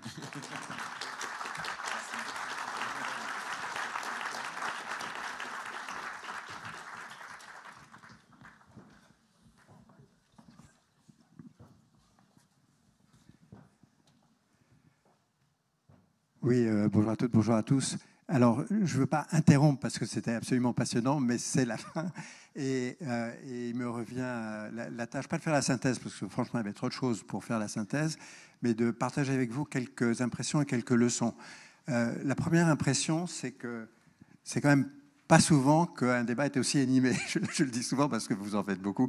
Et, et c'était, c'était de ce point de vue-là absolument formidable. Avec du coup, ce que je vais faire, c'est que je vais vous dire deux ou trois des expressions fortes euh, que vous avez les uns et les autres dites. Et tout le monde a, été très créatif dans les expressions pour les partager parce que ça fait partie des choses, je crois, que nous tous, euh, nous allons pouvoir euh, retenir en, quittant, en quittant ces lieux. Alors, dès le début, on a posé le décor en disant quelque chose qui est bien connu maintenant de nous tous, qui est qu'il faut éviter l'ingérable et gérer l'inévitable. C'est quand même une formule extrêmement puissante et il faut vraiment y réfléchir. Que l'adaptation, c'est à notre main, et ça, c'est évidemment un point absolument crucial. L'atténuation, on contribue, on fait ce qu'il faut, on s'insère dans un environnement mondial, mais l'adaptation, c'est à notre main. Et puis, euh, il y avait euh, aussi euh, des expressions fortes sur l'impréparation qui est désormais un choix. Ça, c'est vraiment une chose qu'il faut qu'on ait tous en tête. Quand on ne se prépare pas au réchauffement qui va se produire, eh bien, on a fait un choix. C'est un choix négatif, c'est un choix d'abstention, mais c'est un choix. Et ça, c'est quelque chose qui plante le décor de manière extrêmement forte, de même que le ministre a planté le décor en disant que dans les travaux qu'il mène, il prend en compte le scénario à 2 degrés et il prend en compte le scénario à 4 degrés. Je pense que c'était extrêmement important d'entendre ça parce que ça donne quand même l'ampleur de ce qui nous attend et de, de, ce qui va être devant nous. Après, l'ampleur de la difficulté, vous l'avez exprimé remarquablement. Je cite simplement quelques-unes des choses. Euh, vous avez dit, euh, même du fait, il faut lutter contre. Euh, et ça ne va pas de soi. Vous avez dit aussi, je, je crois que c'était euh, vous, qu'il fallait embarquer tout le monde. et que donc c'était quelque chose qui pouvait conduire dans certains cas à avoir une assemblée à feu et à sang. Et ce sont des choses extrêmement importantes et pour nous très importantes aussi parce que une des forces de la démocratie, c'est d'être en mesure d'assumer le fait qu'il peut y avoir des objectifs différents également redevables. La séquence finale euh, recevable, la séquence, euh, la séquence finale autour des ABF, elle était extrêmement instructive. Le ministre n'a pas dit qu'il euh, fallait faire abstraction de ça. Il a proposé une méthode pour que le dialogue avec eux soit possible et qu'ensuite on surmonte les obstacles éventuellement excessifs euh, qu'il mettrait à un certain nombre euh, de choses. Il faut éviter la maladaptation, il faut embarquer tout le monde, je l'ai déjà dit. Et à la fin, et ça je crois que c'est une des grandes leçons, c'est qu'il y a parmi les intervenants un très large accord sur le fait qu'on ne peut plus négliger l'adaptation, que le temps est venu de la prendre en compte, qu'il est temps de la prendre en compte avec en tête un scénario qui pourrait avoir lieu de 4 degrés, que ça ne résout pas tous les problèmes et que sur la manière de s'y prendre, il y aura irréductiblement des points de vue contradictoires. Et ça, je pense que c'est une des grandes choses qu'il faut aussi retenir de notre entretien. Euh, c'est pas facile à faire, c'est devenu plus facile à dire maintenant. Euh, chez France Stratégie, on a beaucoup travaillé sur ces questions-là, sur ce qu'on a appelé les conflits de soutenabilité. Je vous renvoie un excellent rapport sur le sujet qu'on a publié il y a quelques mois. Euh, il faut assumer, et c'est la force de la démocratie, qu'il y a des objectifs dont la mise en œuvre peut conduire à des décisions opposées, et que la démocratie, ça consiste à y faire face, à définir ses priorités, à aller jusqu'au bout de l'argumentation rationnelle, et à ce moment-là, on peut aller de l'avant. je pense que l'une des raisons qui font que cette réunion d'aujourd'hui était dense et stimulante, et j'espère que vous l'avez appréciée comme, euh, comme moi et comme je crois vraiment beaucoup d'entre nous, euh, c'est qu'aucun des orateurs euh, n'a eu peur d'assumer qu'il fallait le faire, que c'était difficile de le faire, que ça serait un chemin semé d'embûches, mais qu'à la fin, l'importance de l'enjeu était telle que ça justifiait qu'on se batte pour y arriver. Merci de votre attention et surtout, merci à tous les intervenants. Merci.